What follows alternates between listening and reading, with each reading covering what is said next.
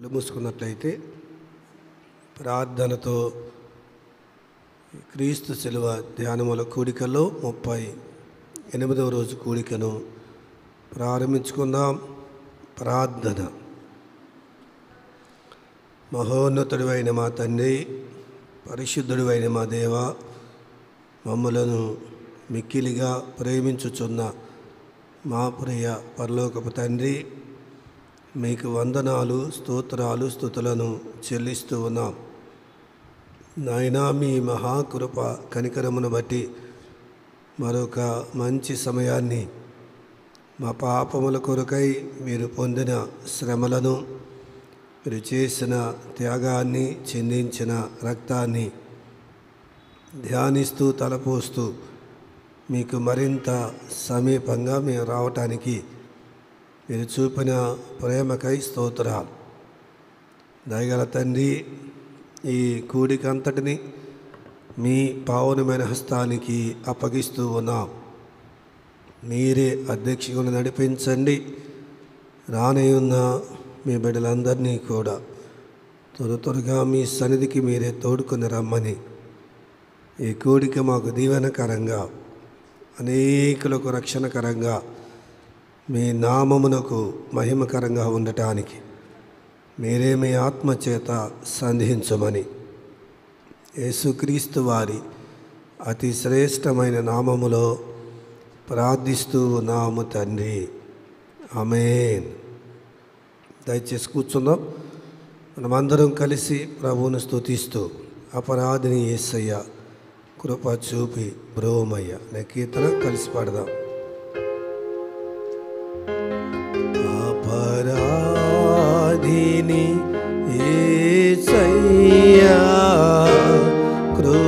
చూపి బ్రోమయ్యా అపరాధిని ఏసయ్యా కృప చూపి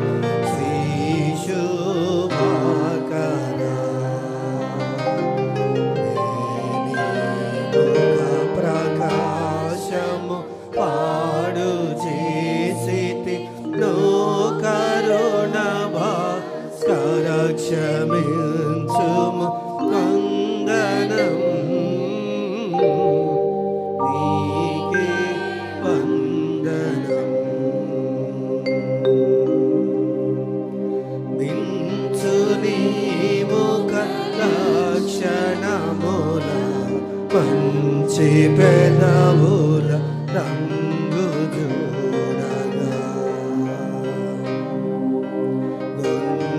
గుంచమైనను కనుపడక కృషించి దౌడలు కృంగిపో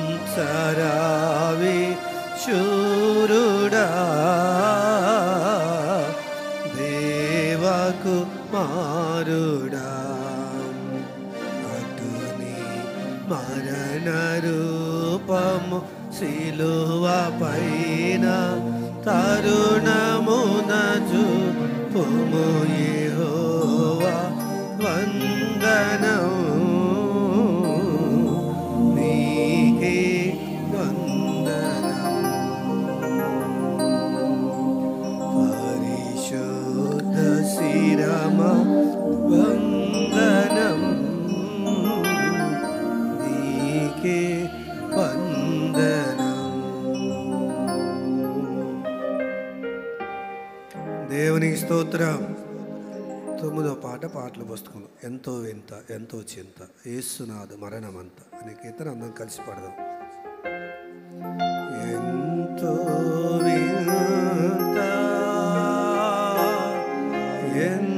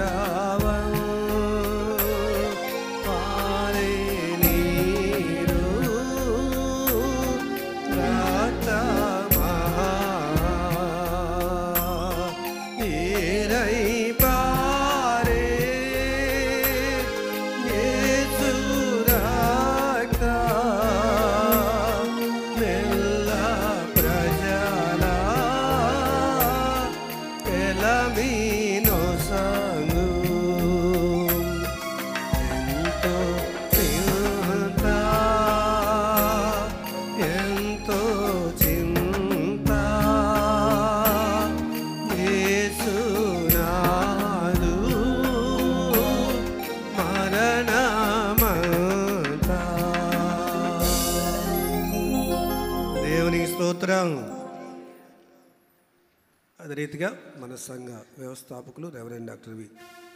దైవామణి గారు రచించిన ప్రభు యేసు కలవరి ప్రేమ. మధురాతి మధురం కాదంటూ ఆరో పాట పాటల పుస్తకం. కలిసి పాడదాం. ప్రభు యేసు కల్వరి ప్రేమ.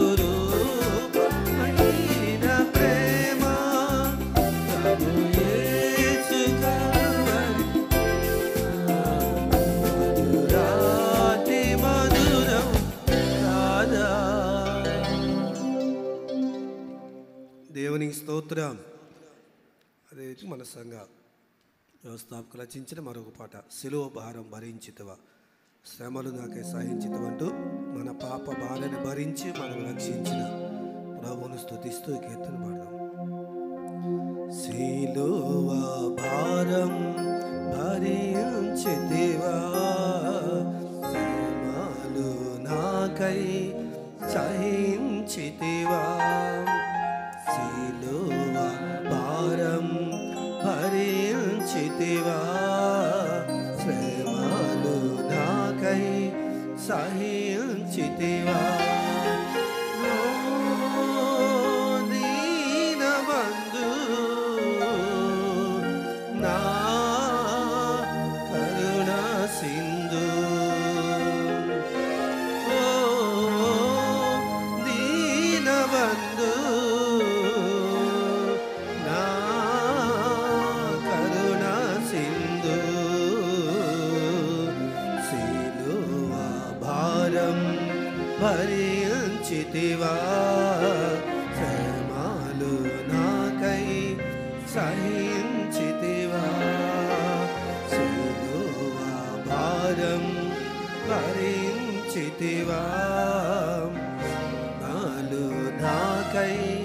సహించితివా.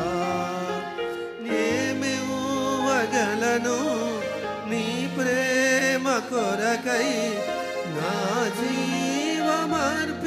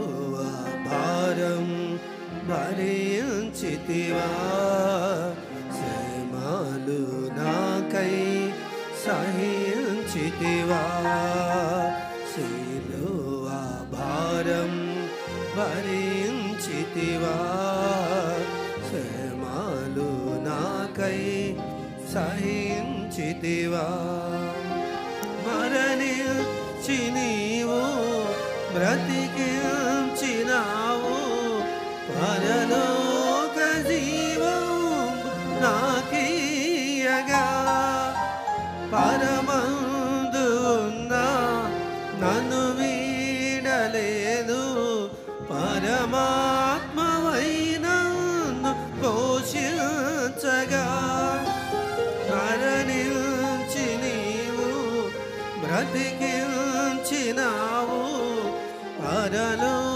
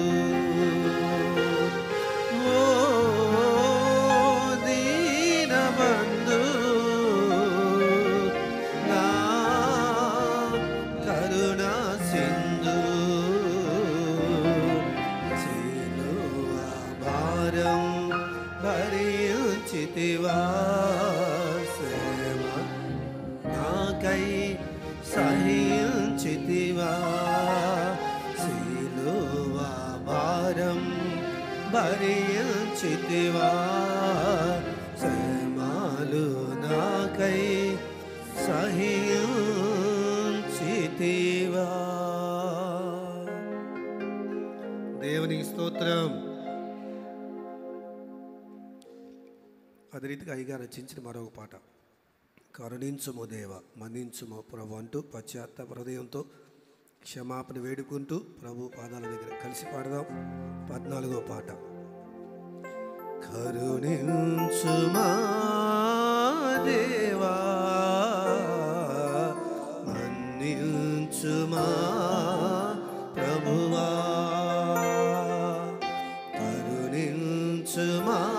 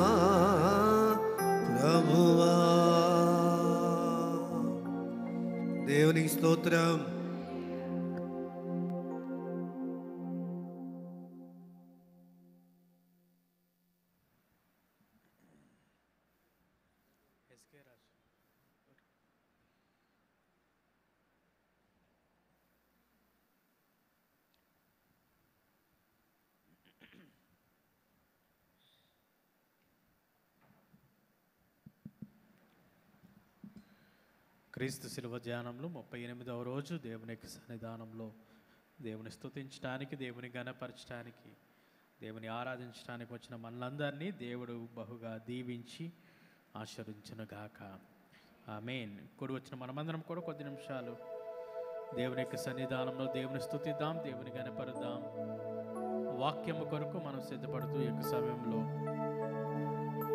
దేవుని స్థుతిద్దాం దేవుని గణపరుద్దాం దేవుని ఆరాధన చేద్దాం. సిలువలో యేసయ్య మన కోసం చేసిన యొక్క త్యాగమును బట్టి బలియాగమును బట్టి దేవుని స్థుతిస్తూ దేవుని గనపరుస్తూ దేవుని ఆరాధన చేస్తూ కొద్ది నిమిషాలు ఆ యొక్క సిలువ వైపు మనం చూస్తూ సిలువ యొక్క దర్శనాన్ని మనం పొందుకుంటూ దేవుని స్థుతిద్దాం దేవుని గనపరుద్దాం దేవుని ఆరాధన చేద్దాం. దేవాని యొక్క సిలువే మాకు శక్తి శిలువే సిలువే మాకు ఆధారం. నీ యొక్క సిలువే నాకు బలము అని చెప్పి దేవుని స్థుతిద్దాం దేవుని గణపరుద్దాం దేవుని ఆరాధన చేద్దాం. కూడి వచ్చిన మనమందరం కూడా ముప్పై ఏడు రోజులు దేవుని యొక్క సన్నిధానంలో ఒక ఉద్దేశముతో ఒక దిగి దీక్షతో మనం ప్రార్థన చేశాం. ఈరోజు కూడా దేవుడు మన యొక్క జీవితంలో మనల్ని సరి చేయాలని మన యొక్క జీవితాలను బాగు చేయాలని మన యొక్క హృదయాలను పరిశుద్ధంగా చేయాలని ప్రార్థనాపూర్వకంగా దేవుని యొక్క వాక్యము కోసం మనమందరము కూడా వేచి ఉందాం. దేవా నాతో మాట్లాడు నాయన ప్రభా నన్ను బ్రతికించటానికి నన్ను బలపరచటానికి ప్రభా నన్ను క్షమించటానికే ప్రభా ఇక సిలువలో నీవు వేలాడవు. నీకే వందనాలు స్తోత్రాలు. ఇంకా దౌర్భాగ్యమైన జీవితాన్ని నేను జీవిస్తున్నానేమో అయ్యా పరిశీలన చేసుకోవటానికి మీరు కృప చూపించండి నాయన. సహాయం దయచేయండి. ఇక నా యొక్క జీవితంలో అనేక మూలలు నీకు అప్పగించకుండా చీకటి బ్రతుకును బ్రతుకుతున్నానేమో సహాయం దయచేయండి ఆయన అని చెప్పి దేవుని యొక్క సన్నిధానంలో వాక్యము కొరకు సిద్ధపడదాం. సిలువను కూర్చున్న ఆ యొక్క మాటల కోసం సిద్ధపడదాం. క్రైస్తవునికి విశ్వాసులకు సిలువ మాటలే శక్తి. శిలువను గూర్చిన వార్త నశించుచున్న వారికి వెర్రితనంగా కనపడుతుంది కానీ రక్షింపబడుచున్న మనకు అది దేవుని యొక్క శక్తి. సువార్త అనేది దేవుని యొక్క శక్తి. దేవుని యొక్క మాటలు దైవజనులు మన మధ్యలో మాట్లాడే మాటలు అవి మనకు శక్తి. కాబట్టి ఆ శక్తి నాకు కావాలి. ఆ శక్తితో వినటానికి చెవులనివ్వు నాయన అని చెప్పి ప్రార్థన చేద్దాం. ఏసయా నీ యొక్క రక్తముతో మరొకసారి నన్ను ముట్టండి నాయన. నీ యొక్క రక్త ప్రభావమును నా మీద ఉంచమని ప్రార్థన చేద్దాం. దేవా పరిశుద్ధ దేవా నీకే వందనాలు స్తోత్రాలు నాయన. అయ్యా పాపము చేసిన మేమే దోషముతో బ్రతికినది మేమే మోసము చేసినది మేమే మమ్మల్ని క్షమించని దేవుని యొక్క సన్నిధానంలో పశ్చాత్తాపంతో పశ్చాత్తాపంతో ప్రార్థన చేద్దాము. ఈ రోజున పశ్చాత్తాపం లేనిదే దేవునికి దగ్గరగా జీవించడం అనేది అసాధ్యము. పశ్చాత్తాపం లేకుండా నీ యొక్క జీవితాన్ని ఇష్టానుసారంగా జీవిస్తూ ఒకవేళ ఇక శిలువ ధ్యానాలు నిన్ను ముందుకు తీసుకువెళ్తాయనే ఉద్దేశంతో ఉంటే అది అసాధ్యమైన విషయం. పశ్చాత్తాపడు ఈరోజు దేవుని యొక్క సన్నిధానంలో ఆ యొక్క శిలువ దర్శనాన్ని చూస్తూ ఆయన పొందిన ఆ యొక్క గాయాలను చూస్తూ నువ్వు పశ్చాత్తాపడు. కన్నీరు కార్చు. అమ్మ ఈరోజు మనం ఏసై గురించి ఆడవడానికి రాలేదు. యేసు ప్రభు వారు శిలువను మోసుకుంటూ వెళ్తూ అక్కడ ఉన్న కొంతమంది అమ్మలు అక్కలు ఏడుస్తూ ఉంటే అమ్మ నా కోసం ఏడవద్దు. అవును ప్రియులారా ఈ రోజున మనం ఏసయ్య సిలువలో ఉన్నాడని ఎలా వేలాడుతున్నాడని ఏడవటానికి రాలేదు. యేసు ప్రభు వారు చెప్పిన మాట ఏంటో తెలుసా? నీ గురించి నీ పిల్లల గురించి ఏడవమన్నాడు. అవును ప్రియులారా ఎంత సూటు అయిన సమాధానం వేసే చెప్పాడు. ఈరోజు మన గురించి మన పిల్లల గురించి మనం ఏడ్చేవారు ఉండాలి? మధ్యాకాశంలోనికి ఏసై వస్తే నువ్వేమైపోతావో ఆలోచించుకున్నావా? మధ్యాకాశంలోనికి ఏసై వస్తే నీ పిల్లలు ఏమైపోతారో ఆలోచించుకున్నావా? నీ పిల్లల యొక్క బ్రతుకులు ఎలా ఉన్నాయో ఆలోచించావా? భక్తుడైన యోగు అట వారికి పిల్లలు ఏదైనా పాపం చేస్తున్నారేమో అని చెప్పి ఉదయకాలమునే లేచి ఆయన బలులు అర్పించేవాడట. బలిపీఠం దగ్గర ఉండేవాడట. తన పిల్లల గురించి ప్రార్థించేవాడు. ఏ విధంగా ప్రార్థన చేస్తావు నీ పిల్లల జీవితం కోసం? నీ పిల్లల గురించి నువ్వు ఆలోచిస్తున్నావా? నీ గురించి నీ పిల్లల గురించి ఆలోచించమన్నాడు. ఈ రోజున రక్షణ మనకు కావాలి. మన గృహానికి రక్షణ కావాలి. మన కుటుంబానికి రక్షణ కావాలి. వ్యక్తిగతంగా నీకు రక్షణ కావాలి. ఈ రక్షణ గురించి ఆలోచించకుండా నువ్వు ఎంత కన్నీరు పెట్టి ఎంత ప్రార్థన చేసినా సరే అది నిరుపయోగం. కాబట్టి ముప్పై ఎనిమిది రోజులు ప్రార్థన చేసామంటే అది వ్యర్థమైపోకూడదు. వ్యర్థం కాకూడదు అంటే మన జీవితంలో రక్షణ ఉండాలి. రక్షింపబడవా ఏసై అంటున్నాడు నా రక్తంలో కడగబడు. నా రక్తంలో మునిగి రక్షణ పొందుకో అంటున్నాడు. ఈరోజున నువ్వు ఏసై నమ్మకో. ఏసు నీకు మారుగా ఆయన చనిపోయాడు. నీకు బదులుగా ఆయన చనిపోయాడు. ఆ ఒక్క విషయాన్ని నమ్ముకుంటే చాలు. నా కోసం క్ష- చనిపోయిన ఏసయా నీకే వందనాలు అని చెప్పి ఏసయ నన్ను క్షమించని ఒక మాట చెప్పగలిగితే ఈ ముప్పై ఎనిమిది రోజుల ప్రార్థన నీ జీవితంలో సార్థకంగా మారుతుంది వ్యర్థమవుతుంది కాబట్టి సిలువలో వేలాడిన యొక్క ఏసై వైపు చూస్తూ నాకు మారుగా చనిపోయా అని చెప్పి దేవుని స్థుతించండి దేవుని గణపరచండి ेषु नाको नृग असिल्व जग श्रीये सुरक्ताबिबुडो श्राविन् च नाको गादर्शम् Yeah.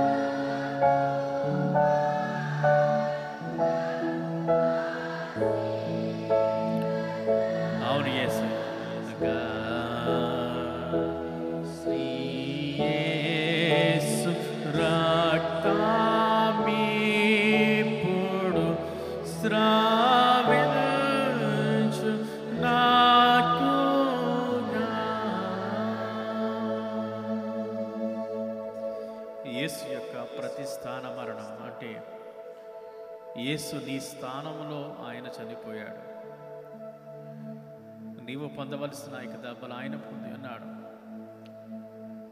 నీవు పొందవలసిన ఆ యొక్క అవమానాన్ని ఆయన పొంది ఉన్నాడు. నీవు పొందవలసిన ఆ యొక్క మరణాన్ని ఆయన పొంది ఉన్నాడు. యేసు నీకు మారుగా ఆ యొక్క సిలువలో చనిపోయాడు.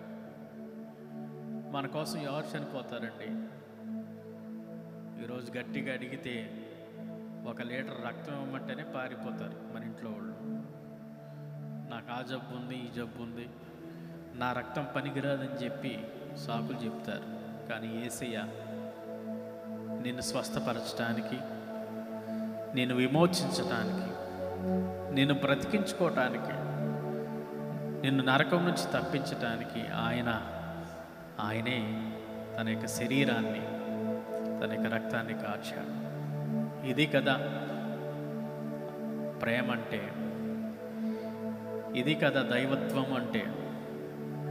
ఇది కదా జాలి అంటే.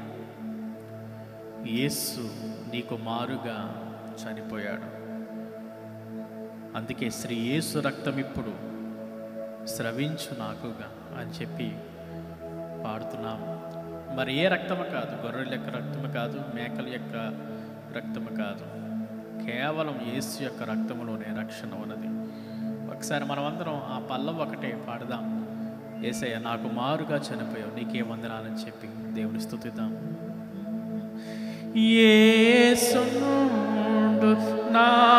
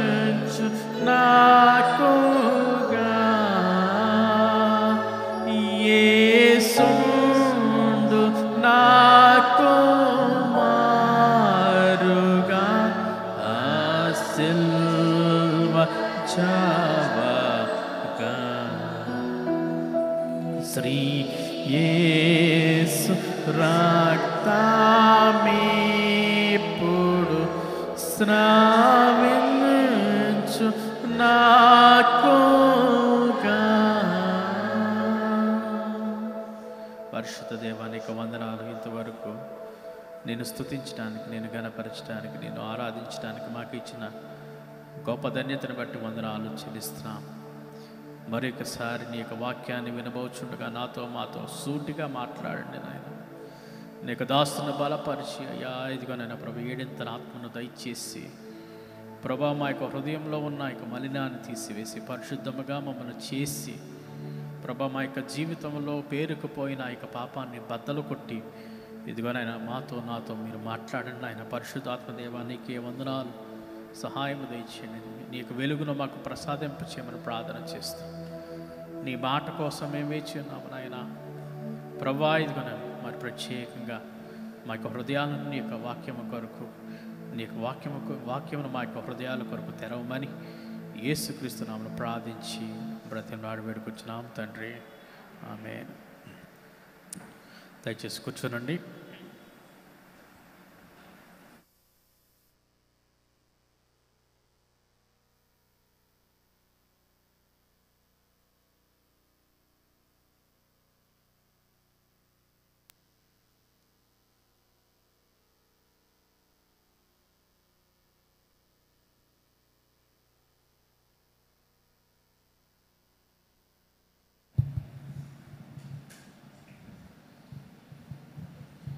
ప్రభునందు ప్రియులారా దేవుని పిల్లలారా మన రక్షకుడు ప్రభుని యేసుక్రీస్తు నామంలో దేవుని స్తుతించడానికి దేవుని గణపరచడానికి దేవుని ఆరాధించడానికి వచ్చిన మనలందరినీ దేవుడు బహుగా దీవించి ఆస్వాదించునుగాక ఆమె దేవునికి స్తోత్రం.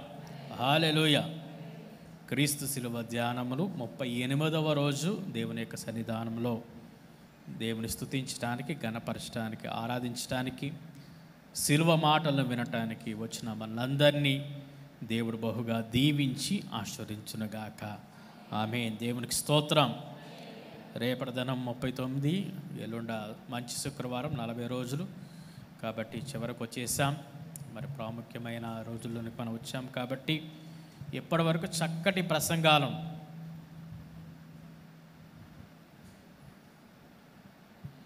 ఇప్పటి వరకు చక్కటి ప్రసంగాలు మనం విన్నాం. మరి ఈరోజు కూడా ఒక చక్కటి వాక్యం మనం వినబోతున్నాం. ఆమెన్. మరి ఈరోజు దేవుని యొక్క వాక్యాన్ని అందించడానికి మన మధ్యలో పాస్టర్ హిజికేర్ రాజు గారు ఉండటం చాలా సంతోషం. మరి మనమందరం గట్టిగా చప్పట్లు కొట్టి వారికి వందనాలు తెలియచేద్దాం. అయ్యగారు ప్రత్యేకమైన వందనాలు. అదేవిధంగా ఈరోజు పాస్టమ్ గారు కూడా రావడం చాలా సంతోషం. గట్టిగా చప్పట్లు కొడదాం. పాస్టమ్ గారికి కూడా ప్రత్యేకమైన వందనాలు తెలియచేస్తున్నాం. మరి పాస్టర్ హెచ్కే రాజు గారు మరి గత కొన్ని సంవత్సరాలుగా మొదట్లో మేము అనేక సార్లు మేము కలుసుకున్నా సరే ఆ ముఖ పరిచయమే తప్ప ఇంకో పరిచయం లేదు. హాయ్ అంటే హాయ్ అనుకునేవాళ్ళు. అప్పుడు నేను బాగా చిన్నోడిని మొహమాటం ఎక్కువ ఉండేది. కానీ రాను రాను నాకు తెలిసిన విషయం ఏంటంటే నాకెంత మొహమాటమో ఆయనకి అంతే మొహమాటం అన్నమాట. అర్థమైందా మీకు? ఇప్పుడు ఇద్దరు మొహమాటం కలిగిన వాళ్ళు ఎక్కడ కూర్చుంటారు? ఎక్కడ కూర్చుంటారా మా కోడికలో? ముందు కూర్చుంటారా? లేకపోతే వెనక కూర్చుంటారా? ఇప్పుడు ఇద్దరం వెనక కూర్చునే వాళ్ళం. ఏ మీటింగ్కి వెళ్ళినా సరే వెనక కూర్చుంటాం. అయ్యగారండి మీకు మొహమాటం అంటే నాకు మొహమాటం అండి మీకు కూడా మొహమాటం అవునండి. వెనకాలంటే మంచిది. సో మా మా రిలేషన్షిప్ ఏంటంటే ఎక్కడితో స్టార్ట్ అయిందంటే వెనక కూర్చునే బెంచ్ మాది అనమాట సో మీటింగ్లో ఎప్పుడు కూడా ముందుండాలని కోరుకునే వాళ్ళం కాదు. ఈ బ్యాచ్లోనే ఫిన్ని అబ్రామ్ గారు కూడా మరి వెనకే ఉండటానికి ఇష్టపడితే ఆయన ఇప్పుడు ముందుకు రారు. కాబట్టి ఆ విధంగా మా స్నేహం బ్యాక్ బెంచ్ స్నేహం అన్నమాట. సో ఆ విధంగా మరి మొదలైన స్నేహం. మరి రాను రాను ఆయన క్యాంపస్కి రావటం నేను వారిక సంఘం దగ్గరికి వెళ్ళటం మరి ఇలా బలపడటం జరిగింది. మరి గత రెండు సంవత్సరాలుగా మరి అద్భుతమైన వాక్యాలు దేవుడు వారి ద్వారా మన సంఘానికి అందించాడు. ఆమెన్.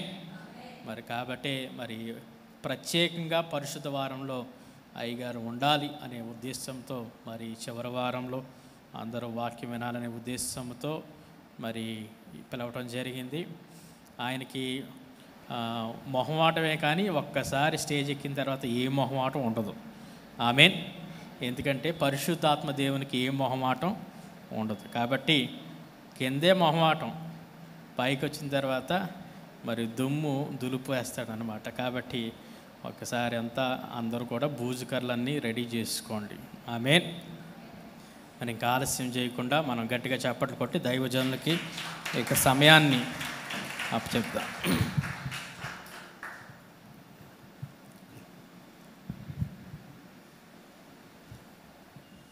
ప్రైజ్ ది లార్డ్ మన ప్రభు అయిన యేసుక్రీస్తు నామానికి మహిమ కలుగునుగాక ఆమె ఇంత శ్రేష్టమైన అవకాశాన్ని మరి నాకు ఇచ్చి నన్ను ఆహ్వానించిన ప్రియ దైవజనులు ఆత్మీయ స్నేహితులు మరి ప్రభుకి నన్నకి ప్రత్యేకమైన వందనాలు తెలియజేస్తున్నాను.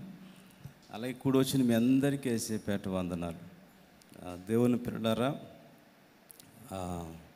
దేవుని పట్ల దేవుని వాక్యం పట్ల ఒక ప్రత్యేకమైనటువంటి అవగాహన కలిగి సత్యాన్ని మాత్రమే బోధించాలి సత్యాన్ని మాత్రమే సంఘానికి ప్రకటించాలి. ఏ విధమైనటువంటి లాభాన్ని కానీ స్వార్థాన్ని కానీ ఆశించకుండా క్రీస్తుని గురించి ఇతరులకు తెలియచేయాలటువంటి ఆ తత్వమే మరి దైవజనులు ప్రభుకర్ నన్నులోను అలాగే దేవుడు నాలోను కూడా పెట్టారు. అందుకే వారితో నాకు ఒక ఆత్మ సంబంధమైనటువంటి ఒక మంచి స్నేహాన్ని దేవుడు ఏర్పాటు చేశాడు. హలెలుయా హలేలుయా అందుని బట్టి ప్రభుని స్తుతిస్తున్నాను. ఒక చిన్న ప్రార్థన చేసుకుందాం. ప్రభు మనందరితో మాట్లాడాలని. మీరు ప్రతి ఒక్కరూ కూడా ప్రార్థన చేసుకోండి. ప్రభా నాతో మాట్లాడండి. ప్రభా నాతో మాట్లాడండి అని ప్రతి ఒక్కరూ ప్రార్థన చేసుకోండి. పరిశుద్ధుడా మీకు వందనాలు చెల్లిస్తున్నాను. ఈ రాత్రికాల సమయమందు నాయన ఈ ఘనమైన మందిరంలో ప్రభు మీరు ఇచ్చిన శ్రేష్టమైన అవకాశం కొరకు నీకు స్తోత్రాలు చెల్లిస్తున్నాను. పరిశుద్ధాత్ముడా జీవము కలిగిన గొప్ప తండ్రి మీకు వందనాలు స్తోత్రాలు స్థుతులు చెల్లిస్తున్నానయ్యా.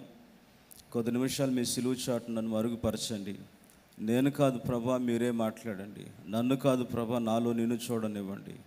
పరిశుద్ధాత్ముడా నా తండ్రి జ్ఞానయుక్తమైన తీయని మాటలనైనను చమత్కారంగా కల్పించబడిన కథలనైనను వినియోగించక నా తండ్రి. దేవుని శక్తియు పరిశుద్ధాత్మయు కల్పించు దృష్టాంతం ఎత్తి బోధించడానికి మీరు కృపానుగ్రహించండి. దేవ మీకు వందనాలు చెల్లిస్తున్నాను. ఆ జంతో మహిమ మీరే పొందుకోవాలేసయ్య ఘనత మీకే రావాలి ప్రభానాథ్యాన్ని మీరు మాత్రం మహిమపరచబడి ప్రజల హృదయాలు తెరవబడాలేసయ్య ప్రతి ఒక్కరూ వారి జీవితంలో ఉన్నటువంటి పరిస్థితులను గమనించాలేసయ్య ఏమి నేర్చుకోవాలో ఏం వదిలిపెట్టాలో ప్రభానా తండ్రి నైనా మేము గ్రహించినట్లుగా మాతో నాతో మాట్లాడి మందరి హృదయాలను తెరవమని మమ్మల్ని మేము మీ చేతులకు అప్పగించుకుంటూ నజరైడని యేసుక్రీస్తు పరిశుద్ధమైన నామములో ప్రార్థించి మిమ్మల్ని గణపరుస్తున్నాను మా పరమ తండ్రి. ఆమెన్. ఆమెన్. దేవుని పిల్లారా క్రైస్తవ జీవితంలో క్రైస్తవ జీవితంలో ప్రతి ఒక్కరికి తెలిసినటువంటి ఒక మాట ఆ మాట ఏంటంటే ప్రార్థన. ఎంతమంది తెలుసండి ఈ మాట? ప్రార్థన అనే మాట ఎంతమందికి తెలుసు? దేవునికి స్తోత్రం. చూడండి ఈ ప్రార్థన గురించి ఎక్కువగా పాటలు రాస్తారు. అలాగే ఈ ప్రార్థన గురించి ఎక్కువగా ప్రసంగాలు చేస్తారు. అలాగే ఈ ప్రార్థన గురించి ఎక్కువగా దేవుని పిల్లరా ప్రసంగాలు కూడా వింటూ ఉంటూ ఉంటాం మనం. అయితే క్రైస్తవ జీవితంలో ఆ చెత్త ఎక్కువగా నిర్లక్ష్యం చేయబడేది ఏంటంటే ప్రార్థన. అందరూ నేను నిర్లక్ష్యం చేయట్లేదండి ప్రార్థన అన్నవాళ్ళు ఎక్కడ ఉండరు క్రైస్తవ లోకంలో. ప్రతి వ్యక్తి కూడా నిర్లక్ష్యం చేసేది ఏంటంటే ప్రార్థన ప్రార్థన నిర్లక్ష్యం చేస్తూ ఉంటారు. కానీ క్రైస్తవ జీవితానికి ప్రార్థన ఎంత ప్రాముఖ్యమైనది అంటే ఒక భక్తుడు ఇలా అన్నారు. స్మిత్ విగిల్స్వర్త్ అనేటి ఒక భక్తుడు అన్నాడు. ప్రార్థన ఊపిరి వంటిది అన్నాడు ఆయన. ఏంటండి? ప్రార్థన ఊపిరి వంటిది అన్నాడు. అంటే ఊపిరి పీల్చకపోతే ఒక మనిషి ఎలా చనిపోతాడో ప్రార్థన చేయకపోతే కూడా మనిషి అలానే చనిపోతాడు. కాబట్టి ఇప్పుడు మనం బ్రతుకున్నామో చనిపోయామో మనకు అర్థమై ఉంటుంది. లేలుయా జాన్ బనీ అనే భక్తుడు కూడా ఒక మాట చెప్పారు. ప్రార్థన చేసేవాళ్ళు పాపం చేయరు. పాపం చేసేవాళ్ళు ప్రార్థన చేయరు. కాబట్టి ఇప్పుడు ప్రార్థన చేసేవాళ్ళు ఎవరో పాపం చేసేవాళ్ళు ఎవరో కూడా అర్థమైపోయిందా లేదండి దేవుని పిల్లలు ప్రత్యేకంగా పేరు పెట్టి పిలిపి పిలిచి చెప్పాల్సిన పని లేదనుకుంటున్నాను నేను. కాబట్టి ప్రార్థన చాలా అంటే చాలా ప్రాముఖ్యమైంది. కానీ ఈ రోజుల్లో అత్యంత ఎక్కువగా మనం నిర్లక్ష్యం చేస్తున్నాం. అంతెందుకండి? ఎవరో ఎందుకు ఇప్పుడు నలభై రోజులుగా చాలామంది క్రైస్తవులు ప్రార్థన చేస్తూ ఉన్నారు. నలభై రోజులుగా చాలామంది ఉపవాసాలు ఉంటా ఉన్నారు. ఈ నలభై రోజులు అయిపోయిన తర్వాత నలభై రోజులు క్రమముగా ప్రార్థన చేసిన వాళ్ళు నలభై ఒకటో రోజు నుంచి ఏంటి అనేది ఆలోచించుకుంటే మనకు అర్థమైపోతుంది. కదండి? అంటే ఎక్కువగా మన ఆధ్యాత్మిక జీవితాల్లో మనం నిర్లక్ష్యం చేస్తున్నాం. అపవాదం అంటే అండి దేవుని పిల్లలారా దేనైనా నిర్లక్ష్యం చేయడానికి ఒప్పుకుంటాడంట. అంటే మీరు బైబిల్ చదవకపోయినా ఒప్పుకుంటాడట.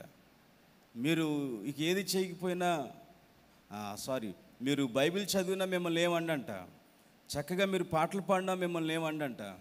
ఇంకా మీరు మందిరం మందిరంలోనే ఉండి మందిరం పరిచయం చేస్తున్నా ఏమండంట? దేవుని పిల్లలు ఇంకా మీరు మందిరానికి సేవకి ధనమిస్తున్నా మిమ్మల్ని ఏమండంట? కానీ ఒక్క మోకరించి ప్రార్థన చేస్తే మాత్రం మీ మీదకి యుద్ధానికి దిగుతాడంట సైతాను. లేలుయా ఎందుకండి యుద్ధానికి దిగుతాడు సైతానుడు అంటే మనం ప్రార్థన చేస్తే దేవుని పిల్లారా దేవుడు పని చేయడం ప్రారంభిస్తాడు. ఎవరు పని చేయడం ప్రారంభిస్తాడండి? ప్రభు పని చేయడం ప్రారంభిస్తాడు. చూడండి ప్రభు పనిచేయడం ప్రారంభిస్తే అపవాది ఆటలేమి చెలవు అపవాది ఆటలేమి చెలవు అనమాట అంటే ఒకవేళ వాడు మనల్ని పాపంలోనో లోకంలోనో పడవేయాలనుకుంటాడు అనుకోవటం ఏంటంటే వాడు ఎప్పుడు దానికోసమే శ్రమిస్తూ ఉంటాడు. ఎప్పుడైతే నువ్వు ప్రార్థన చేస్తావో ప్రార్థన చేసి నిపక్షంగా ప్రభు ఎప్పుడైతే పోరాటం మొదలు పెడతాడో సాతాను యొక్క కార్యాలన్నీ నిర్వీర్యమైపోతాయి. అందుకని వాడు ఏం చేస్తాడంటే నిన్ను దేన్నైనా చేయనిస్తాడు. దేన్నైనా చేయనిస్తాడు. కానీ దేవుని పిల్లలారా ప్రార్థనను వాడు చేయనివాడు ప్రార్థనను వాడు చేయనివ్వడండి. అందుకే ప్రార్థన అనేది క్రైస్తవ జీవితంలో చాలా అంటే చాలా ప్రాముఖ్యమైనది ఇంత ప్రాముఖ్యమైన ప్రార్థనని ప్రతి ఒక్కరూ వారు వారి జీవితాల్లో నిర్లక్ష్యం చేసుకుంటూ వస్తూ ఉంటారు.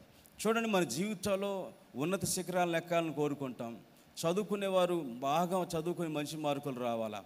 లేకపోతే ఉద్యోగాలు పొందుకోవాలా? లేకపోతే ఇంకేవో ఇంకేవో పొందుకోవాలా? ఆత్మలో ఎదిగేవాళ్ళు ఆత్మలో నిలబడాలని కోరుకునేవాళ్ళు ప్రభు సేవ చేయాలని కోరుకునే వాళ్ళు కూడా నేను అలా ఉండాలి ఇలా ఉండాలి. అబ్రహాం గురించి వాక్యం చెప్తే నేను అబ్రహాంలాగా దీవించబడాలి. లేదా నేను అబ్రహాంలా ఉండాలి. మోషే గురించి వాక్యం చెప్తే నేను మోషేలా ఉండాలని కోరుకుంటారు. కానీ దేవుని పిల్లారా మనం అలా ఉండడానికి చెల్లించాల్సిన వెల మాత్రం మనం చెల్లించట్లేదు. మనం అలా ఉండడానికి చెల్లించాల్సిన వెల చెల్లించే విషయంలో ఆ క్రైస్తవుల్లో తొంభై తొమ్మిది మంది ఫెయిల్యూర్ అయిపోతున్నారనే విషయాన్ని దేవుని పిల్లలారా మనం గుర్తుపెట్టుకోవాలి. అందుకే రాను రాను అపవాది ఏం చేశాడంటే ప్రార్థన వ్యక్తిగతంగా దేవునితో నువ్వు పెనుగులాడేటువంటి విధానాన్ని నీలో నుంచి పోగొట్టి డబ్బులు ఇస్తే డబ్బులు ఇచ్చి ప్రార్థన చేయించుకునే స్థాయికి అపవాది తీసుకొచ్చాడు. ఎక్కడికంటే డబ్బులు ఇచ్చి ప్రార్థన చేయించుకునే స్థాయికి అపవాద్ తీసుకొచ్చాడు. ఇప్పుడు మనం కాల్ సెంటర్స్కి లేకపోతే ప్రేయర్ టవర్స్కి ఫోన్ చేస్తాం. దేనికని? నాకు ఆ సమస్య ప్రార్థన చేయండి ఈ సమస్య ప్రార్థన చేయండి అని మనం వాళ్ళు ప్రేయర్ టవర్స్కి ఫోన్ చేస్తాం. ఫోన్ చేయించి ప్రార్థన చేయించుకుంటాం. మరి చేయించుకోవడం తప్పు అంటే తప్పని అని కాదు నేను కానీ ఆ ప్రేయర్ టవర్స్ మీద ఆధారపడే విధంగా అపవాది మనల్ని దేవుని పిల్లలు మార్చేసాడనమాట అంటే వ్యక్తిగతంగా నువ్వు మోకరించి దేవునితో మాట్లాడేటువంటి అనుభవంలోంచి నిన్ను పక్కకు త్రొక్కేశాడు తోసేశాడు. ఇప్పుడు దేవునితో మనకి సరైనటువంటి సంబంధ బాంధవ్యాలు లేవండి దేవుని పిల్లలారా. ఒక్క ప్రార్థన మాత్రమే ప్రభువుతో మనల్ని ఐక్యపరిచేలాగా చేస్తుంది. ఒక్క ప్రార్థన మాత్రమే మనము దేవునిలో ఎదిగేలాగా ఒక్క ప్రార్థన మాత్రమే మనం దేవుని కొరకు వాడబడేలాగా చేస్తుంది తప్ప నువ్వు ఏం చేసినా నీ జీవితంలో మరేమీ కూడా సాధించనే సాధించలేవండి దేవుని పిల్లలు. చూడండి యేసుక్రీస్తు జీవితాన్ని యేసుక్రీస్తు జీవితాన్ని మనం కొన్ని భాగాలుగా విభజిస్తే చూడండి ఆయన ముప్పై మూడున్నర సంవత్సరాలు ఈ లోకంలో జీవించారు. ముప్పైవ సంవత్సరంలో ముప్పై ఒకటవ సంవత్సరంలో ఆయన సేవ ప్రారంభించారు. మూడున్నర సంవత్సరాలు ఆయన సేవ చేశారు. ఈ మూడున్నర సంవత్సరాల సేవ జీవితం ఇందులో పరిశుద్ధ గ్రంథంలో వ్రాయబడి ఉంది. ఈ మూడున్నర సంవత్సరాల్లో దేవుని పిల్లలారా ఆయన ఎక్కువగా రెండు పనులు చేశారు. నేనంటాను ఒకవేళ ఆయన జీవితాన్ని మూడు భాగాలుగా విభజిస్తే ఎక్కువగా ఆయన చేసింది ప్రార్థన రెండవది సువార్థీకరణ మూడవది దేవుని పిల్లలారా ఈ రెండు ఈ రెండు కొనసాగడానికి అత్యంత బలంగా ఆయన నిలబడడానికి కావలసినటువంటి పరిశుద్ధత. కాబట్టి ఆయన పరిశుద్ధంగా ఉన్నాడు సేవ చేశాడు ప్రార్థన చేశాడు. కాబట్టి దేవుని పిల్లలారా ఇప్పుడు ఆయన జీవితంలో ఎక్కువ భాగం దేనికి ప్రాముఖ్యతనిచ్చారని మనం ఆలోచిస్తే ప్రార్థన చేయటానికి యేసు ప్రభులు వారు ఎక్కువ ప్రాముఖ్యతనిచ్చారు. హలేలుయా ఎక్కువ ప్రాముఖ్యతనిచ్చారు ఆయన ప్రార్థన చేయడానికి చూడండి లోకాశుభవార్త లోకాశుభవార్త మూడవ అధ్యాయం ఇరవై ఒకటో వచ్చిన చదువుకుందాం. త్వర త్వరగా చదవండి. ప్రజలందరూ పొందినప్పుడు యేసు కూడా బాప్తిస్మం పొంది ప్రార్థన చేయుచుండగా ఆకాశము తెరవబడి పరిశుద్ధాత్మ శరీరాకారంతో పావురం వలె చాలండి ఆయన మీదకి దిగి వచ్చింది హలలుయా చూడండి దేవుని పిల్లరా యేసు ప్రభుల వారు యేసు ప్రభుల వారు సేవ ఆరంభంలోనే ఆయన బాప్తిస్మం పొంది ఏం చేస్తున్నాడంటండి? బాప్తిస్మం పొంది ప్రార్థన చేస్తూ ఉన్నాడంట. చూడండి వాక్యం చెప్పేటప్పుడు ఎవరు బైబిల్ చదవద్దు. అంటే మీకు తెలుసు కదా నేను చెప్పలేదు. వాక్యం చెప్పేటప్పుడు దయచేసి నా వైపు చూస్తూ ఆలకించమని మీకు నేను ప్రార్థన చేస్తున్నాను. నా ప్రార్థన ఆలకిస్తున్నారన్న వాళ్ళందరూ దేవునికి స్తోత్రం చెప్పండి. హలేలుయా చూడండి దేవుని పిల్ల యేసు ప్రభులు వారు బాప్తిస్వం తీసుకుని ఆయన చేసిన పని ఏంటంటే ప్రార్థన చేయడం ప్రారంభించాడు. చూడండి నేను ఇలాగ అంటాను యేసు ప్రభులు వారి ప్రారంభ దినాలు ఇవి. యేసు ప్రభులు వారి ప్రారంభ దినాలు. యేసు ప్రభుల వారి ప్రారంభ దినాలు ఆత్మ సంబంధమైన దినాలు ఆయన ఎలా ప్రారంభించారంటే దేవుని పిల్లరా ఆయన ప్రార్థనతో ప్రారంభించారు ఆయన. ఎలా ప్రారంభించారండి? ప్రార్థనతో ప్రారంభించారు ఆయన. ఆయన బాప్తిస్మం పొందిన వెంటనే ఆయన ఏం చేస్తున్నారండి దేవుని పిల్లరా ప్రార్థన చేస్తూ ఉన్నారనమాట ప్రార్థన చేస్తూ ఉంటే ఆకాశం తెరవబడింది. ప్రార్థన చేస్తూ ఉంటే పరిశుద్ధాత్మ దేవుడు ఆయనలోనికి వచ్చేసారండి దేవుని పిల్లరా చూడండి మనం కూడా ప్రారంభ దినాల్లో బాగా ప్రార్థన చేస్తాం. ఎప్పుడు చేస్తాం? ప్రారంభ దినాల్లో. ఒకవేళ మీ మిమ్మల్ని కనుక నేను ఈ ప్రశ్న అడిగితే మీరు ఎప్పుడు బాగా ప్రార్థన చేసేవాళ్ళని అడిగితే మీలో ప్రతి ఒక్కరు ఏమంటారో తెలుసండి? నేను బాప్తిసం తీసుకున్న రోజుల్లో బాగా ప్రార్థన చేసేవాడిని అండి. నేను బాప్తిసం తీసుకున్న రోజుల్లో నేను ఇలా ప్రార్థన చేస్తే అలా పరిశుద్ధాత్మ దేవుడు వచ్చేసేవాడండి. నేను బాప్తిసం తీసుకున్న ఆ రోజుల్లో కొత్తలో ప్రార్థన చేస్తూ ఉంటేనండి అయ్యి బాబోయ్ దెయ్యాలు వెళ్ళిపోతూ ఉండేయండి.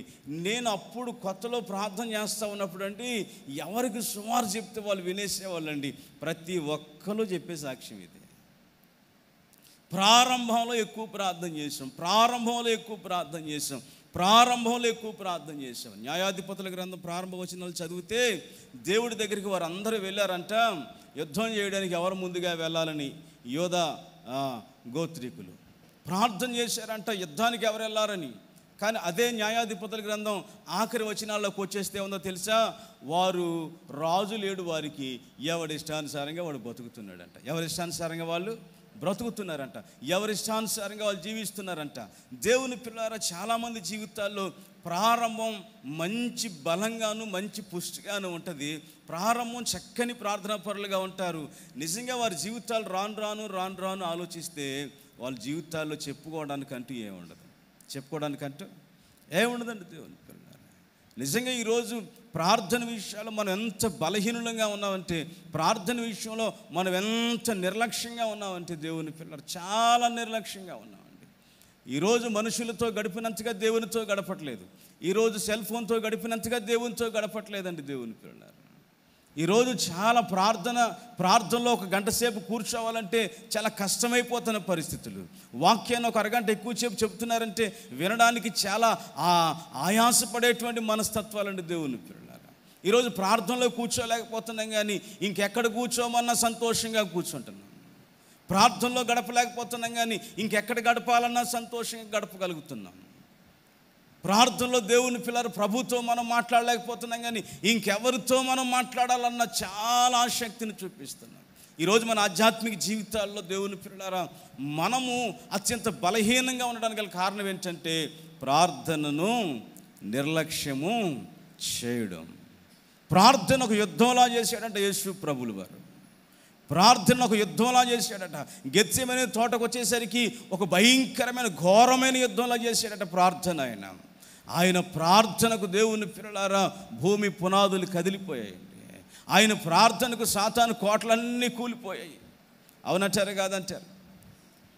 ఆయన ప్రార్థనకు సైతాను దుర్గములన్నీ కదిలిపోయాయండి దేవుని పిల్లలారా. ఈరోజు మన ప్రార్థనకు ఈరోజు మనం ఎలా ప్రార్థన చేస్తున్నాం? కొంతమంది ప్రార్థన ఆవిలిస్తూ ప్రార్థన చేస్తూ ఉంటారు ఎంత అది బాధకరంగా ఉంటుందనండి. ఆవిలిస్తూ ప్రార్థన చేస్తూ ఉంటారండి. అంటే బద్ధకంగా ప్రార్థన చేస్తారనమాట ఎట్లా ప్రార్థన చేస్తారంటే బద్ధకంగా పనిచేయవాడు దరిద్రుడు అవుతాడని దేవుని వాక్యం చెబుతుంది. దేవుని పిల్లల చాలామంది ప్రార్థన పట్ల అంత ఆసక్తి ఉండదండి బాబు. ప్రార్థన అంటే హడావిడిగా ముగించేసుకుంటూ ఉంటారు చాలామంది. ప్రశాంతంగా కూర్చొని ప్రభుతో మాట్లాడరండి. ప్రశాంతంగా కూర్చొని ప్రభుతో సంభాషించరండి. నేను ప్రభుని ప్రేమిస్తున్నాను అంటారండి. ప్రభుని ప్రేమించేవాడు ప్రభుతోనే ఎక్కువ సమయం గడపాలి. ప్రభుని ప్రేమించేవాళ్ళు ప్రభుతోనే ఎక్కువ మాట్లాడాలి. కానీ ఈరోజు మన జీవితాల్లో అటువంటి ఆలోచన లేదండి దేవుని పిల్లరా. ప్రార్థనకు అత్యంత తక్కువ సమయాన్ని ఇస్తాం మనం. ప్రార్థనకి ఎంత సమయాన్ని ఇస్తున్నాం మనం? చెప్పండి. ప్రార్థనకి ఎంత సమయాన్ని ఇస్తున్నాం మనం రోజు? ప్రార్థనకి మనం ఎంత సమయాన్ని ఇస్తున్నామండి మార్టిన్ లూథర్ గారు చెప్పారు నాకు ఈరోజు చాలా బిజీ ఉంది. ఒక్క క్షణం కూడా నాకు తీరుకులేదు కాబట్టి ఈరోజు నేను మూడు గంటలు ప్రార్థించకుండా నేను ప్రార్థనలోంచి లేవని అంటారు అంటే ఒకరోజు ఆయనకి అంత బిజీ ఖాళీ లేని షెడ్యూల్ ఉన్నప్పుడు మూడు గంటలు మినిమం ప్రార్థన చేస్తారంట. మరి ఖాళీగా ఉన్న వాళ్ళు ఎన్ని గంటలు ప్రార్థన చేయాలి? ఈరోజు మనం ఎన్ని గంటలు ప్రార్థన చేస్తున్నాం? దినానికి ఎన్ని గంటలు దేవునితో సహవాసం చేస్తున్నాం మనం? నేను ఒక మాట చెప్పనండి దేవుని పిల్లలు. చాలామందికి ప్రార్థన అనేది వారి జీవితాల్లో చేయలేకపోవడం గల కారణం ఏంటంటే వారికి పరలోకం వెళ్ళాలన్న కోరిక లేకపోవడం. వారికి పరలోకం వెళ్ళాలన్న కోరిక లేకపోవడం. రెండవది యేసు ప్రభులాగా నేను రూపాంతరం చెందాలన్న ఆశ లేకపోవడం. దేవుని పిల్ల మూడవది ఈ లోకాన్ని స్వార్థ ప్రకటించాలన్న తపన లేకపోవడం. తపన లేకపోవడం అండి దేవుని పిల్లలు. నీ జీవితంలో నిజమైన బలమైన కోరిక ఉంటే కనుక ఆశ ఉంటే కనుక నువ్వు యేసు ప్రభుత్వం మాట్లాడకుండా ఉండనే ఉండలేవండి. యేసు ప్రభుత్వం మాట్లాడకుండా ఉండనే ఉండలేవు. మన జీవితాల్లో అత్యంత బలంగా మనం ప్రార్థన నిర్లక్ష్యం చేస్తాం దేవుని పిల్లరా ప్రార్థన అనేసరికండి దేవుని పిల్లరా కొంతమందికి ఎక్కడ లేని కోపం వచ్చేస్తూ ఉంటుందండి. కొంతమంది ఎక్కడ లేని చిరాకు వచ్చేస్తూ ఉంటుందండి. వేకుజావునే మీరు ప్రార్థన చేయటానికి ఎవరినైనా లేపండి లేపితే ఎంత కోపగించుకుంటారు? ఎంత చిరాకు వచ్చేస్తుంది వాళ్ళకి. వేకుజాను ప్రభుత్వం మాట్లాడడానికి దేవుని పిల్లలు ఎవరైనా లేపండి లేపితే ఎంత బాధ అయిపోతుందో వాళ్ళకి. ప్రార్థించేదానికి లేవరండి దేవుని పిల్లలు. ఇప్పుడు ప్రభువు ప్రభువుని మనం ఎలా కోరుకుంటున్నామంటే మాకు తగినట్లుగా నీవు ఉండాలి తప్ప నీకు తగినట్లుగా మేము ఉండం. అంటే మా- మాకు కావలసినట్లుగా నువ్వు మారాలి తప్ప నీకు కావలసినట్లుగా మేము మారు. అంటే ప్రభువును మార్చేదానికి పద్ధతులు మార్చేదానికి మనం ప్రయత్నం చేస్తున్నాం తప్ప మనల్ని మనం మార్చుకునేదానికి దేవుని పిల్లలారా మన జీవితాలు మనం ఆరాట పడట్లేదండి. నేను చాలాసార్లు సిగ్గుపడతా ఉంటాను కొన్ని విషయాలు. ఎందుకు సిగ్గుపడతా ఉంటాను? ఇప్పటికీ నా జీవితంలో నేను ఏదైనా బాధపడాల్సిన పరిస్థితులు వస్తే నేను ఏదైనా నాకు లోటు ఉందని చెప్పుకోవాల్సిన విషయాలు వస్తే నేను ఏం చెప్పుకుంటాను తెలుసా? నేను ప్రభువు కోరుకున్నంతగా ఇంకా ప్రార్థన చేయట్లేదు. ఇంకా నేను ప్రభు అని కోరుకున్నట్లుగా నేను పని చేయలేకపోతున్నాను. ఇంకా ప్రభు కోరుకున్నంతగా నేను అనుకున్నంతగా ప్రార్థన చేయలేకపోతున్నాను ప్రభు సన్నిధిలో. ఇంతకు మించిన ఆశ లేకపోతే ఇంతకు మించిన కోరిక ఇంతకు మించిన భారం నా జీవితంలో ఏమీ లేదండి దేవుడు కొన్ని కొన్నిసార్లు భక్తుల జీవిత చరిత్రలు చదువుతున్నప్పుడు చాలా బాధ కలుగుతూ ఉంటుందండి. చాలా దుఃఖం కలుగుతూ ఉంటుంది. డేవిడ్ బ్రెయినార్డ్ అనే ఒక వ్యక్తి ఇరవై తొమ్మిది సంవత్సరాలకు చచ్చిపోయాడండి. క్షయవ్యాధితో చచ్చిపోయాడండి. రెడ్ ఇండియన్స్ అన్నటువంటి ఒక భయంకరమైన మృగజాతి వాళ్ళు. నరమాంస భక్షకులు వాళ్ళు. జ్ఞానం లేనటువంటి వాళ్ళు వాళ్ళు. చాలా భయంకరమైన వ్యక్తులు. వాళ్ళు రక్షించాలని ఈ భయం ఈ వ్యక్తి తపన కట్టుకున్నాడండి. వాళ్ళు మార్పు చెందాలి వాళ్ళకి సుమార్త అందాలని చెప్పేసి బ్రైనాడ్ దేవుని పిల్ల యవనస్తుడిగా ఉన్నప్పుడు కంకణం కట్టుకున్నాడు. దేవుని సన్నిధిలో ప్రార్థన చేయడం ఆరంభించేవాడు. డేవిడ్ బ్రెయినాడ్ ఎప్పుడు లేచేవాడు తెలుసా? తెల్లవారుజామున మూడు గంటలు లేచేవాడు. హల్లేలుయా. చెప్పండి ఆ మాట వింటున్న వాళ్ళు దేవునికి స్తోత్రం చెప్పండి. ఎన్ని గంటలు లేచేవాడండి? మూడు గంటలు లేచేవాడు. నేను అడుగుతున్నాను ఇక్కడ తెల్లవారుజామున మూడు గంటలు లేచి ప్రార్థన చేసేవాళ్ళు ఎవరైనా ఉన్నారా? ఏమండి ఒక క్షయవ్యాధితో బాధపడేవాడు? నోట్లోంచి రక్తం కక్కుకుంటూ జీవించేవాడు తెల్లవారుజామున మూడు గంటలకు లేచి నశించిపోతున్న ఒక జాతి ప్రభువు కొరకు సంపాదించాలని తపన కట్టుకున్నాడంటే ఆరోగ్యంగా ఉండే మనం ఏం చేస్తున్నాం? వింటున్నారా? అర్థమవుతున్నాయండి నా మాటలు మీకు? రక్తంగక్కునే ఒక వ్యక్తి ఒక జాతి మారు మనసు పొందాలని చెప్పేసి ఒక భయంకరమైన వ్యాధితో బాధపడే ఒక వ్యక్తి ఒక మృగజాతి లేకపోతే ఒక నరమాంస భక్షకులు మారు మనసు పొందాలి ప్రభువును తెలుసుకోవాలని కంకణం కట్టుకున్న వ్యక్తి మూడు గంటలకు లేచి ప్రార్థన చేస్తుంటే ఆరోగ్యంగా ఉన్న మనం ఏం చేస్తున్నాం? అర్థమవుతుందండి దేవుని పిల్లలు ఆరోగ్యంగా ఉండి మనం ఏం చేస్తున్నాం తెలుసండి? ఇంకా దేవుని సన్నిధిలో నిర్లక్ష్యంగా ఉంటున్నాం మనం. ఇంకా దేవుని సన్నిధిలో మన ఆధ్యాత్మిక జీవితాల్లో సరైనటువంటి దేవుని పిల్లలారా ఒకలాంటి భారం మన జీవితాల్లోకి రావట్లేదు. అసలు యేసుక్రీస్తు ప్రభుల వారి యొక్క తాపత్రయం ఏంటండి? మనల్ని రక్షించాలి కదా. మరి నీకెందుకు లేదు ఆ రక్షణ భారం? నీకెందుకు లేదు ప్రజల పట్ల ఆ భావం అంటే ఓ తండ్రికి ఉన్న లక్షణాలు నీకు లేకపోతే ఆ తండ్రికి తగిన కొడుకుగా తగిన కుమార్తెగా నేను ఎవరో పిలవరు. వాళ్ళ నాన్న చూడండి ఎట్లా ఉన్నాడు? వీడు చూడండి ఎట్లా ఉన్నాడు. కదండి? వాళ్ళ అమ్మ చూడండి ఎట్లా ఉంటుందో ఈ అమ్మాయి చూడండి ఎట్లా ఉంటుందో. అసలు ఈ అమ్మాయి ఆ తల్లికి కూతురు అనిపించుకోవడానికి యోగ్యత ఏమాత్రం లేదండి. అసలు ఇతను ఆ తండ్రికి కొడుకు అనిపించుకోవడానికి యోగ్యత ఏమాత్రం.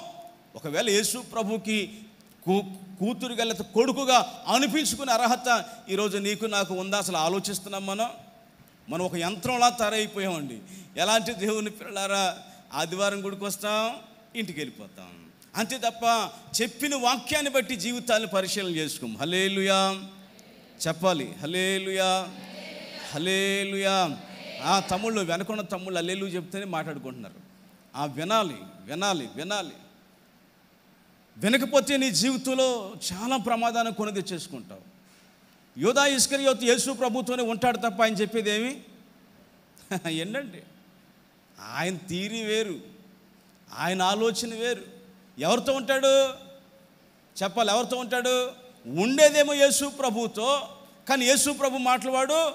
వెండో వాడంతం ఏమైందో మనందరికీ తెలుసు. వాడంతం ఏమైందో మనందరికీ తెలుసు అండి దేవుని పిల్లలు. కాబట్టి దేవుని సన్నిధిలో ఉన్న మనము ఈరోజు మనకి ఎటువంటి భారం ఉందండి? తెల్లవారుజామున మూడు గంటలకు లేచి ఎక్కడ మోకరించేవాడు తెలుసా? ఐసు కొండల మీద మోకరించేవాడు అంటే డేవిడ్ బ్రెయినర్డ్ నాకు ఇంకా సిగ్గేస్తా ఉంటుంది ఇలాంటి విషయాలు చదువుతూ ఉంటే అన్ని అన్ని సౌఖ్యంగా ఉండి. మనకి ఏసీలు ఉన్నాయి ఫ్యాన్లు ఉన్నాయి. ఏసీ లేని ఇల్లు ఉందంటారు ఇప్పుడు? ఏసీలు ఉన్నాయి ఫ్యాన్లు ఉన్నాయి అన్ని సౌకర్యాలు ఉన్నాయి మనకి. అన్ని సౌకర్యాలు ఉండి సుఖంగా ఉండి కూడా మనం ప్రార్థించలేకపోతున్నాం. ఏ సౌకర్యం లేకుండా శరీరంలో ఆరోగ్యం లేకుండా రక్తం కక్కుకుంటూ మంచు కొండల మీద మోకరించి తెల్లవారుజామున మూడు గంటలకు మోకరించి ఆయన ఎప్పుడు లేచేవాడు తెలిసేది కాదంటండి. ఎందుకంటే ఆయన గంటలు లెక్క పెట్టుకుని ప్రార్థన చేసేవాడు కాదు ఆయన. ఆత్మల భారంతో ప్రార్థన చేసేవాడు నశించిపోతున్న వారి కొరకు ప్రార్థన చేసేవాడు ఆయన. ఏడ్చేవాడంట గుండెలు బాదుకుని ఏడ్చేవాడంట గుండెలు బాదుకుని ఏడుస్తూ ఉంటే ఆయన శరీరంలో పుట్టిన వేడి మోకాలు మీదకి దిగుతూ మోకాలు కిందన మంచు కరిగి నీరులో ప్రవహించేదట. హలేలుయా ఇప్పుడు మనం ఎంత ఏడమన్న ఒక కన్నీడు సుక్క కూడా రాదు మనకి. ఎందుకు ఒక కన్నీటి చుక్క కూడా రాదు మనకి అంటే దేవుని పిల్లలారా? మనకు సరైన భారం లేదు. మనం వాక్యాన్ని వింటున్నాం కానీ దాన్ని గ్రహించి మన జీవితాన్ని మార్చుకోవట్లేదు మనం. మనం దేవుని వాక్యాన్ని వింటాం కానీ ఇది నా కొరకు అనుకో మనం. దేవుని వాక్యాన్ని వింటున్నా దేవుని పిల్లరా దాన్ని ఈ చెవితో వినేసి ఈ చెవితో వదిలేస్తాం మనం. పట్టించుకో మనం. అందుకే పౌలు గారికి ఒకరోజు భారం కలిగింది. పౌలు గారికి ఒకరోజు బాధ కలిగింది. అసలు మీరు వయస్సును బట్టి చూస్తే మీరు ఎలా ఉండాలో తెలుసా? ఎలా ఉండాలి? ఇప్పటికీ బోధకులుగా ఉండాలి మీరు. ఓ మంచి సువార్థికులుగా ఉండాలి మీరు. అనేకుల్ని ప్రభు చెంతకు నడిపించేవారుగా ఉండాలి మీరు. ఇంకా మీకు ఏం బోధించాల్సి వస్తుంది? మూలోపదేశాలు బోధించాల్సి వస్తుంది మీకు ఇంకా. ఇంకా మీరు ప్రార్థన చేయట్లేదు ప్రార్థన చేసుకోండి అని చెప్పాల్సి వస్తుంది ఇంకా. ఇంకా మీరు నిద్రపోతున్నారు మేల్కోండి అని చెప్పాల్సి వస్తుంది ఇంకా. ఇంకా మీకు ఆత్మల పట్ల భారం లేదని చెప్పాల్సి వస్తుంది ఇంకా. దేవుని పిల్లలు నేడో రేపు వేసే రాబోతున్న సమయాల్లో కూడా నేడో రేపు రాకడ వస్తుందన్న సందర్భాల్లో కూడా ఇంకా మన జీవితాల్లో మార్పు లేదు. అమ్మో యుద్ధాలు జరిగిపోతున్నాయి. రాజ్యం మీదకి రాజ్యం వచ్చేస్తుందని ప్రభు చెప్పలేదా? మా తెలుసు వార్తలు అంటావు నువ్వు.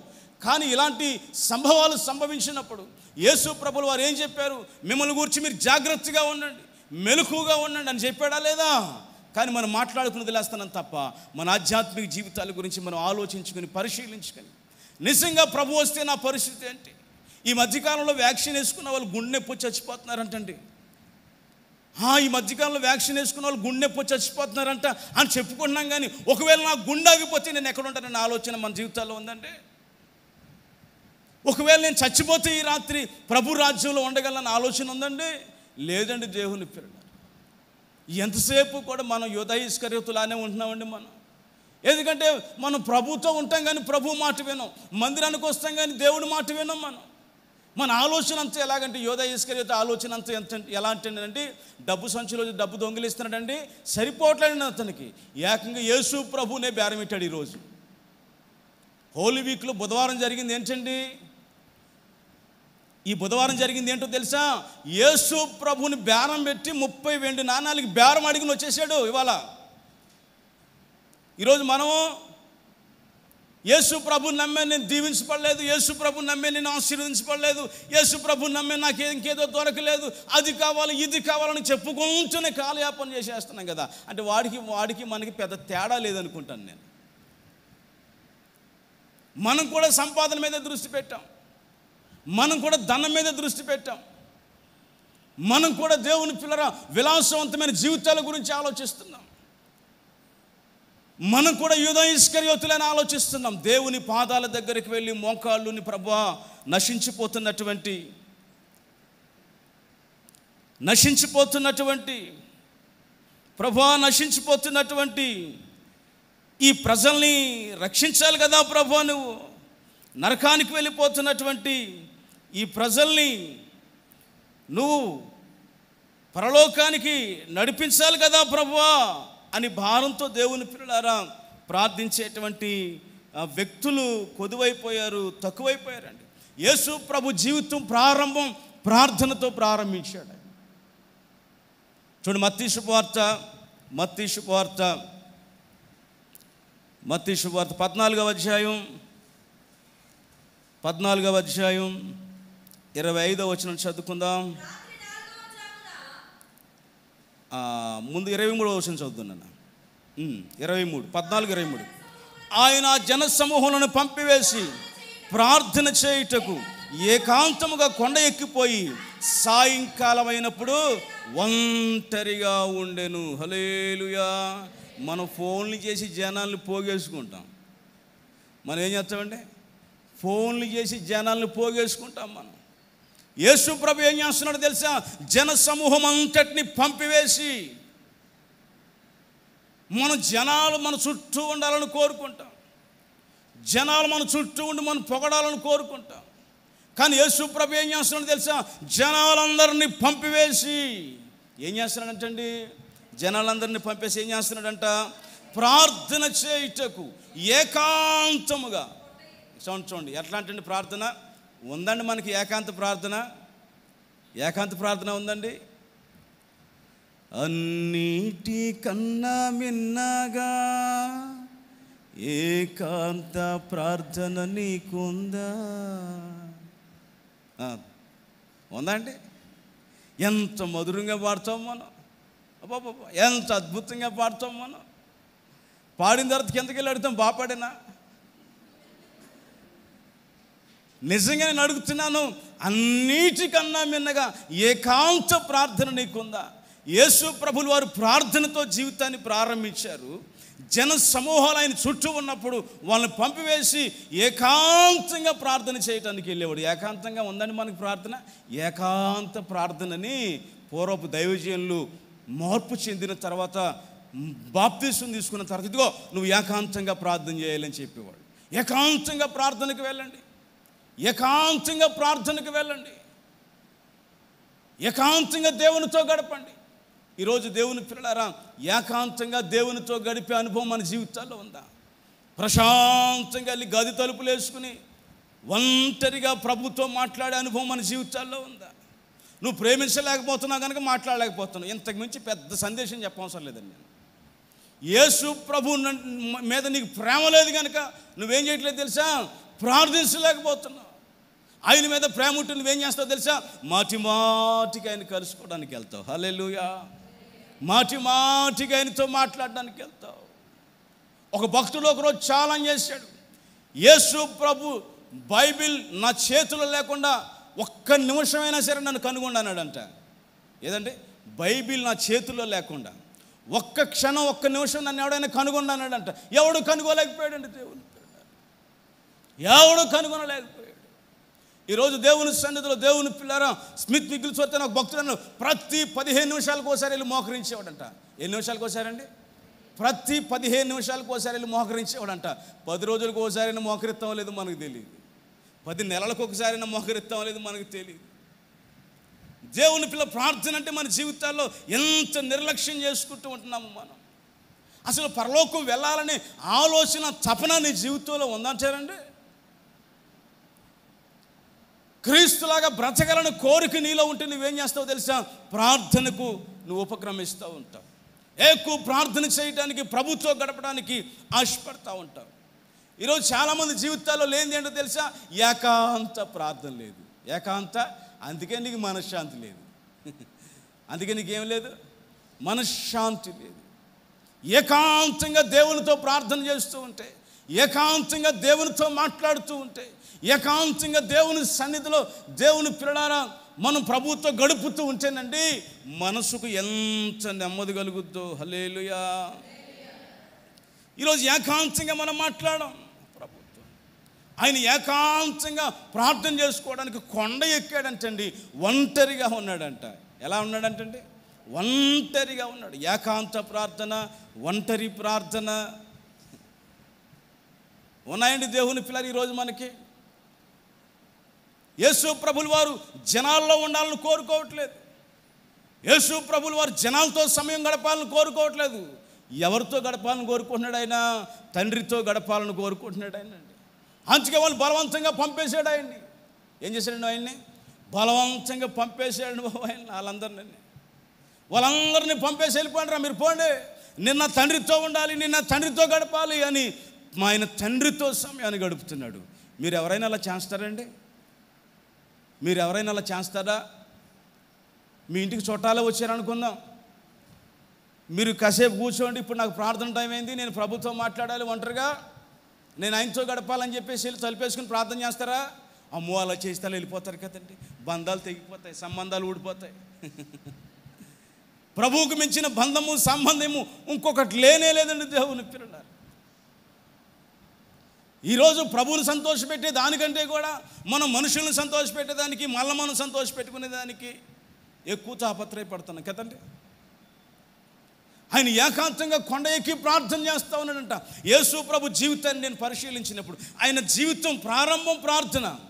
ఒక భక్తుడు రాశాడండి ఆయన నజరేతులో ఉన్నప్పుడు వడ్రంగిగా ఉన్నప్పుడు కూడా ఆయన ప్రార్థన చేస్తూనే ఉన్నాడు ఆయన. అప్పుడుకప్పుడు ఆయన హృదయంలో పుట్టింది కాదు అది. అప్పటికప్పుడు ఆయన ప్రారంభించింది కాదు అది. ఆయన నజరెత్తులో ఉన్నప్పుడు కూడా ఆయన ఏం చేస్తున్నాడు తెలుసా? ప్రార్థన చేస్తూనే ఉన్నాడు. ఆయన పన్నెండేళ్ళ వయసులో ఉన్నప్పుడు కూడా ఏం చేస్తున్నాడు తెలుసా? ప్రార్థన చేస్తూనే ఉన్నాడు. అందుకే శాస్త్రులు పరిచయులు ఆయన ఎదిరించలేకపోయారు. హలేలుయా అందుకే వారు ఆయనకి జమ సమాధానం చెప్పలేకపోయారు.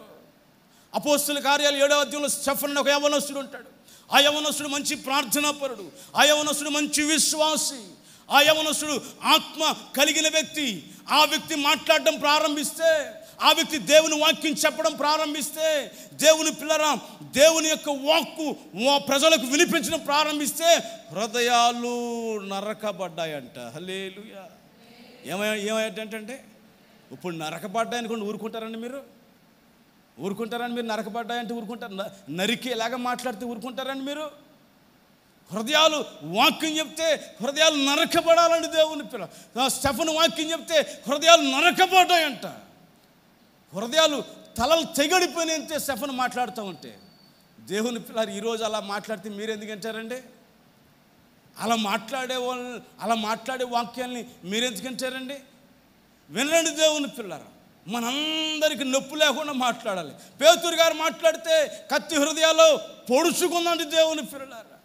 ఇప్పుడు మనకు పొడుచుకునేలా మాట్లాడకూడదు నరకబడేలా మాట్లాడకూడదు. కానీ వాక్యం అంటది పరిశుద్ధాత్మ దేవుని చేత ఏ వ్యక్తి నిలబడి మాట్లాడినా పరిశుద్ధాత్మ దేవుని చేత ఏ వ్యక్తి వాడబడుతున్నా అతని వాక్యాలు గుండెల్ని పొడుస్తూ ఉంటాయి హృదయాల్ని నరికేస్తూ ఉంటాయి అనమాట హలే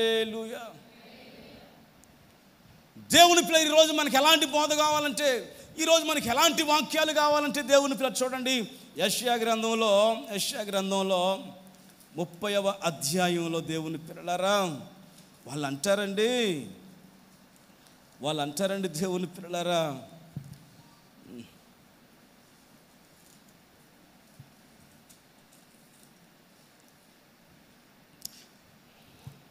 ముప్పై అధ్యాయం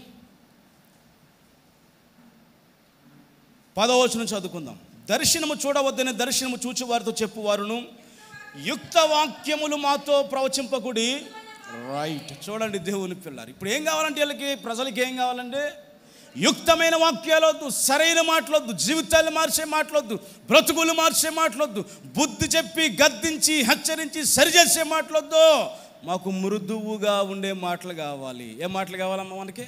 మృదువుగా ఉండాలి కదండి. వెన్నపూసలా ఉండాలి కదండి. సన్నగా జారిపోవాలి కదండి దేవుని పిల్లరా. ఏమండి? ఒక్క జోక్ అని చెప్పట్లేదండి. పాస్టర్ గారు. ఒక్క నవ్వు వచ్చే మాట అయినా చెప్పట్లేదండి. ఆ పాస్టర్ గారు చూడండి ఆ పాస్టర్ గారు వచ్చాడు అనుకోండి అయ్యి బాబోయ్ ప్రసంగం అసలు ఎన్నట్టే ఉండదు. ప్రసంగం అంతా జోకులే. ప్రసంగం అంత జోకులే. ప్రసంగం అంత నవ్వులే. అందుకే పౌలు గారు అన్నారు ఏమన్నారు తెలుసా? చమత్కారముగా కల్పించిన పడిన కథలు నేను చెప్పను మిమ్మల్ని నవ్వించడానికి. కల్పన కథలు నేను చెప్పను మిమ్మల్ని నవ్వించడానికి. నేను నవ్వించేటువంటి కెమెడియన్ కాదు నేను దేవుని సేవకుణ్ణి. అందుకే తిమోతి నువ్వేం చేస్తావు తెలుసా? వాళ్ళకి బుద్ధి చెప్పాలి వాళ్ళని ఖండించాలి వాళ్ళని హెచ్చరించాలి నువ్వు. ఒకవేళ కెమెడియన్గా మారిపోతావేమో ఈరోజు చాలామంది సేవకుల్ని కెమెడియన్స్గా మార్చేసాడు సైతానికి. వీళ్ళు అనుకుంటున్నారు అబ్బా ప్రజల్ని మేము బాగా నవ్విస్తున్నాం ప్రజలు బాగా నవ్వుకుంటున్నారు అనుకుంటున్నారండి. కానీ దేవుని పిల్లరా వీళ్ళు ఒకరోజు దేవుని న్యాయపీఠం ముందు నిలబడినప్పుడు దేవుని తీర్పు చాలా భయంకరంగా ఎదుర్కోవాల్సి వస్తుంది. మిమ్మల్ని లభించడానికంటే దేవుడు ఇక్కడ పెట్టింది. అండ్ మిమ్మల్ని జోకులేయడానికంటే ఇక్కడ పెట్టింది దేవుడు. ఈ అవకాశం ఇచ్చింది దేనికోసమో తెలుసా. దేవుడు ఏది చెప్పమన్నాడో అది మీ ముందు మేము చెప్పడానికి దేవుడు ఏది మాట్లాడమన్నాడో అది మాట్లాడడానికి మాత్రమే నిలబడ్డాం తప్ప ఎవరినో సంతోషపెట్టడానికి ఇక్కడ నిలబడే నిలబడలేదండి దేవుని ఏ సావుకులు నిలబడకూడదు. ప్రజలు అంటున్నారంట యుక్త వాక్యాలు మాతో చెప్పొద్దు మంచి వాక్యాలు మాతో చెప్పొద్దు గుండెల్లో గుచ్చుకునే మాటలు మాకు చెప్పొద్దు హృదయాలు నరకబడే మాటలు మాకు చెప్పొద్దు బ్రతుకులు మార్చుకునే మాటలు మాకు చెప్పొద్దు యుక్తమైన మాటలు మాకు వద్దు మృదువైన మాటలే మాకు కావాలి. హలేలుయా ఎట్లాంటి మాటలు కావాలంటే మృదువైన మాటలే కావాలి. పాస్టర్ గారు కూడా భయం అండి ఫుల్ పెట్టి నిలబడిన తర్వాత. ఎందుకు తెలిసే భయమో? ఏమో గట్టిగా మాట్లాడితే గుడి మానేస్తాడేమో. ఏమో గట్టిగా మాట్లాడితే వెళ్ళిపోతాడేమో. ఇట్లాంటి వాళ్ళు ఉన్నా పోయేది నరకానికేనండి దేవుని పిల్లడారు ఇట్లాంటి వాళ్ళ గుళ్ళో ఉన్నా పోయేది నరకానికే. జనం కోసం మంది కోసం ప్రజల్ని పోగేసుకోవడానికి కోసం సేవ కాదండి దేవుని పిల్లరా. సత్యాన్ని ప్రకటించి వాక్యాన్ని ప్రకటించి పరలోకం కొరకు సిద్ధపరచడానికే వాక్యం అండి దేవుని పిల్లరా. హలేలుయా చెప్పాలి హలేలుయా కాబట్టి వీళ్ళు అంటున్నారు యుక్తమైన ఆ, ఆ మాటలు మళ్ళీ చదవండి. మృదువైన మాటలే. తర్వాత ఆ మాయా దర్శనాలు చెప్పాలటండి. ఏం చెప్పాలి? మాయా దర్శనాలు చెప్పాలి మాయ మాటలు చెప్పాలండి వీళ్ళకి. మాయ మాటలు చెప్పాలి మంచి మాటలు చెప్పకూడదు వీళ్ళకి. ఇప్పుడు మాయం నాకు రాత్రి దర్శనం వచ్చిందమ్మా నాకు రాత్రి దర్శనం వచ్చింది నువ్వు తెల్లని అంగి వేసుకుని పరలోకి వెళ్ళిపోతున్నావు. అటోకి దేవదూత ఇటోకి దేవదూత నిన్ను సంఖంలో పట్టుకున్నారు. నువ్వు పరలోకి వెళ్ళిపోతున్నట్టు నాకు దర్శనం వచ్చిందమ్మా. అసలు ఈ మనిషికి ప్రార్థన ఏముండదు ఈ మనిషికి తెల్లారు లేచితే టీవీతోనే ఉంటుంది. టీవీలో వచ్చే ప్రతి సీరియల్ చూస్తుంది. ఏమంటే దేవుని పిల్ల అసలు భక్తే ఉండదు ఈ మనిషికి. కానీ ఈ మనిషి కోసం పాస్టర్ గారు ఏం దర్శనం చెప్పాలో చెప్పండి. ఆ ఇద్దరు దేవదూతలు దిగి వచ్చి తెల్లని దగ్గ దగ్గ దగ్గ దగ్గ దగ్గ మెరిసిపోయే వస్త్రాలు నువ్వు ధరించుకుని ఉంటే ఆ వస్త్రాలతో నువ్వు అడిగిపోతున్నావు పరలోకం వెళ్ళిపోతున్నాం. దేవునికి స్తోత్రం అల్లేలుయ అనుకునండి దేవుని పిల్లలారా దాసి భర్త దగ్గర దొంగల నుంచి దాచేసిన డబ్బులు తీసుకొచ్చి దేవుని కానికి మరి పాస్టర్ గారు మాయ దర్శనాలు చెప్పాడు కదండి. ఏం దర్శనాలు చెప్పాడు? మాయ దర్శనాలు చెప్పాడు కదండి. కాబట్టి దేవుని పిల్లారా ఇప్పుడు ఎవరు ఎక్కువైపోయారంటే మాయ దర్శనాలు చూసే వాళ్ళు ఎక్కువైపోయారు. ఏ దర్శనాలు చూసే వాళ్ళు ఎక్కువైపోయారంటే మాయ దర్శనాలు చూసే వాళ్ళు ఎక్కువైపోయారు. ఓ పాస్టర్ గారు మన వాక్యం చెప్తున్నాడు ఇదిగో ఇల్లు లేదని ఎవడో బాధపడకండి. పరలోకముల నుంచి దేవదూతలు భూమి మీదకి దిగి వచ్చి సూపర్ నేచురల్ పవర్ ఉపయోగించి మీ పేరున మీ పేరున ఒక డాక్యుమెంట్ రెడీ చేసాయి మీరు ప్రార్థన చేయండి ప్రభుని అడగండి ఆ ఆ డాక్యుమెంట్ ప్రభు మీ చేతిలో పెట్టేస్తాడు అంటున్నాడండి. ఎంత దుర్మార్గంగా బోధిస్తున్నారో ఎంత దుర్మార్గమైన బోధలు ఈరోజు ప్రజలు కోరుకుంటున్నారో చూడండి.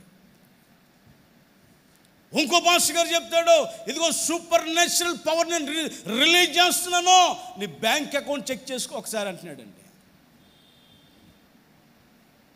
యేసు ప్రభుల వారు చెయ్యని బోధ యేసు ప్రభుల వారు ఏదైతే ధనము మీరు కూర్చుకోవద్దు ధనాశ సమస్తమైన కీడులకు మూలం అని చెప్పారో దేవుని పిల్ల అదే ధనం కొరకు ఈరోజు వాళ్ళండి ఎంత భయంకరంగా బరి తెగించి మాట్లాడుతున్నారో దేవుని పిల్లలు క్రైస్తవ లోకాన్ని దేవుని కొరకు సిద్ధపరిచేదానికంటే క్రైస్తవ లోకాన్ని ప్రభు కొరకు సిద్ధపరిచేదానికంటే క్రైస్తవ లోకాన్ని ప్రభు వాక్యంతో పెంచేదానికంటే కూడా ఈరోజు భయంకరమైన మాటలు ప్రకటన చేస్తూ ఉన్నారు. చాలా విచారకరం.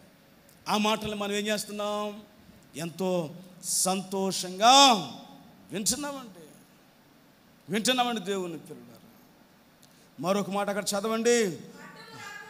అడ్డం రాకుండా త్రోవ నుండి తొలగండి ఆ దేవుడి సంగతి మాకు ఆ తత్తమాటు దేవుడి గురించి చెప్పమాకండి బాబు. ఇక ప్రసంగం మొదలెట్టిన కానించి నువ్వు పరలోకం నరకం అంటావు. ప్రసంగం మొదలెట్టిన కానించి అమ్మో దేవుడు అంటావు అది అంటావు ఇది అంటావు. అట్లా కాదు కొంచెం మృదువుగా మాట్లాడు. అట్లా కాదు కొంచెం సంతోషం మాకు నవ్వు కలిగించే విధంగా మాట్లాడు అనేటువంటి తరమని దేవుని పిల్ల. మీకు మరొక మాట చూపిస్తాను చూడండి. ఎహెచ్గేల్ పదమూడవ అధ్యాయం. ఎహెచ్గేల్ గ్రంథం పదమూడవ అధ్యాయం. నిజంగా దేవుడు ఎంత ఈనాటి లోకాన్ని చూసి లేకపోతే ఈనాటి ప్రజలను చూసి ఎంతగా బాధపడుతున్నాడు అన్నట్టు దేవుని పిల్లలు. ఎంతగా ఎంతగా దేవుడు ఆ దుఃఖపడుతున్నాడు అన్నట్టు దేవుని పిల్లలు.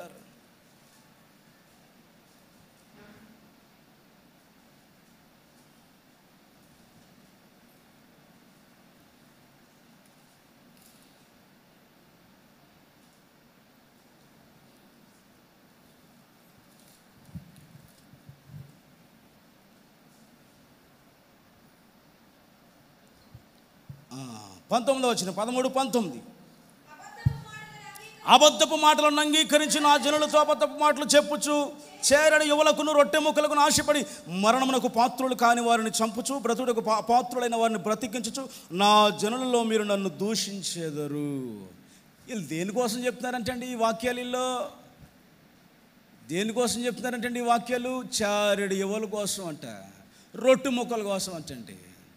ఈ రొట్టె ముక్కల కోసం ఏం చెప్తున్నారంటే వీళ్ళు అబద్ధాలు చెబుతున్నారంటండి. వాక్యములో లేనివి చెబుతున్నారంటండి దేవుని పిల్లలు. కల్పించి చెబుతున్నారంటండి దేవుని పిల్లలు. కాబట్టి ఇలాంటి దినాలు ఇలాంటి పరిస్థితులు వచ్చేసాయండి అందుకే యేసు ప్రభులు వారు ఏం చేసేవారో తెలుసండి? ఇలాంటి అపవాది కుయుక్తుల్ని జయించడానికి మోమాటం లేని లేకుండా సత్యాన్ని బోధించడానికి ఆయన ఈ జనాల యొక్క ఈ జనాల్ని పోగేసుకోవడం మానేసేసి ప్రార్థన చేయడం ప్రారంభించాడు ఆయన. హలేలుయా ఇప్పుడు ఇప్పుడు జరిగేదంతా ఏంటంటేనండి ప్రార్థన చేయడం మానేసేసి జనాలు పోగేసుకోవడం నేర్చుకుంటున్నారు. ఏం చేయడం నేర్చుకుంటున్నారండి? జనాలు ఏ విధంగా పోగేసుకోవచ్చు ఆలోచన చేస్తూ ఉన్నారు. ఏ ట్రిక్స్ ప్లే చేస్తే జనాలు పోగవుతారో ఏ విధంగా ఏ విధమైనటువంటి సౌకర్యాలు కల్పిస్తే జనాలు పోగవుతారో ఏ విధమైన సౌకర్యాలు ప్రజలకు చూపిస్తే ఆ జనాలు పోగవుతారో యేసు ప్రభేమో ఆయన చుట్టూ ఉన్న జనాంగాన్ని పంపేసి ఏకాంతముగా ఒంటరిగా ప్రార్థన చేస్తున్నాడు. ఈరోజు ఈ ప్రార్థన అనుభవం జీవిత ప్రజల జీవితాల్లో లేదండి. అందుకే వీళ్ళు ప్రజలకు ఏం కావాలో అది చెప్తారు తప్ప ప్రభు ఏది చెప్పమన్నాడు అది చెప్పరు. ప్రజలకు ఏం కావాలో అది బోధిస్తారు తప్ప. ప్రజలకు ఏది బోధిస్తే వీళ్ళు మెచ్చుకుంటారు. ప్రజలకు ఏది బోధిస్తే వీళ్ళకి రొట్టు ముక్కలు ఇస్తారు. ప్రజలకు ఏది బోధిస్తే వీళ్ళకి చారడి యువలు ఇస్తారు. అవి బోధిస్తారు తప్పండి దేవుని పిల్లలారా. సత్యాన్ని బోధించి వాళ్ళని పరలోకం వైపు మరల్చే బోధ చేయరండి. సత్యాన్ని బోధించి వాళ్ళని ప్రభు వైపు తిప్పే బోధ చేయరండి. వీళ్ళ వైపు తిప్పుకునే బోధ చేస్తూ ఉంటారు. వీళ్ళ వైపు మరల్చుకునే బోధ చేస్తూ ఉంటారండి దేవుని ఎంత దుర్మార్గమైన పరిస్థితులు వచ్చేసారండి క్రైస్తవులు ప్రార్థన సంగతి మర్చిపోయండి. ఆ ప్రార్థన సంగతి పక్కన పెట్టేసేసండి. దేవుని పిల్లలారా ప్రార్థన సంగతిని వాళ్ళు దూరం పెట్టేసేసండి. దేవుని పిల్లలారా వాళ్ళు వారి జీవితాల్లో చాలా భయంకర పరిస్థితుల్లోకి వెళ్ళిపోయారు. చూడండి మార్కు వార్త ఆరో అధ్యాయం నలభై ఆరో వచనంలో కూడా అదే మాట. ఆయన వారిని వీడుకొలిపి ప్రార్థన చేయటం కొండకు వెళ్ళను. ఆయన బాప్తిస్మం పొంది ప్రార్థన చేస్తున్నాడు. ప్రజలకు సుమార్త చెప్పేసిన తర్వాత ఇంక వాళ్ళు పంపించేసి దేవుని పిల్లలారా వాళ్ళకి మైక్ ఇచ్చి ఎట్లా ఉంది మన ప్రసంగం? ఫీడ్బ్యాక్ తీసుకోవట్లేదు యేసు ప్రభులు వారు. ఫీడ్బ్యాక్ తీసుకుని సోషల్ మీడియాలో పోస్ట్ చేయట్లేదు యేసు ప్రభులు వారు. టీవీలో ఆడేయట్లేదు యేసు ప్రభులు వారు. అద్భుతమైన ప్రసంగం. విప్లవాత్మకమైన ప్రసంగం ప్రజల హృదయాలను మార్చే ప్రసంగం ఇక ఇలాంటి శోధంతా చెప్పించుకోవట్లేదు యేసు ప్రభులు మైక్ ఇచ్చండి వాళ్ళకి సువార్త చెప్పాడా? సువార్త చెప్పిన తర్వాత మీరు వెళ్ళిపోండి ఇంకా. మరి నేనేం చేయాలి? నేను ప్రార్థన చేయాలి. నేను తండ్రితో మాట్లాడాలి. మీ జీవితాలు ఇంకా నూతనమైనగా మారిపోవాలి. ఇంకా మీరు వెలిగించబడాలంటే నేను తండ్రితో మాట్లాడాలి. ఏకాంతంగా నేను ఆయనతో ఉండాలి.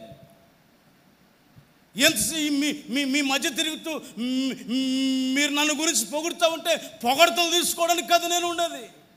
నేను తండ్రితో ఏకాంతంగా ఉండాలి. నేను తండ్రితో ఏకాంతంగా ఉండాలి. ఏకాంతంగా ఉండాలి. చూడండి దేవుని ఇందాక మీకు చెప్పాను కదండి ఆ, మత్తయి సువార్త పద్నాలుగవ అధ్యాయం ఇరవై మూడవ వచ్చిన చదివారు కదా ఆ తర్వాత మళ్ళా చదవండి. అప్పటికాతోనే దూరముగా నుండగా గాలి ఎదురైనందున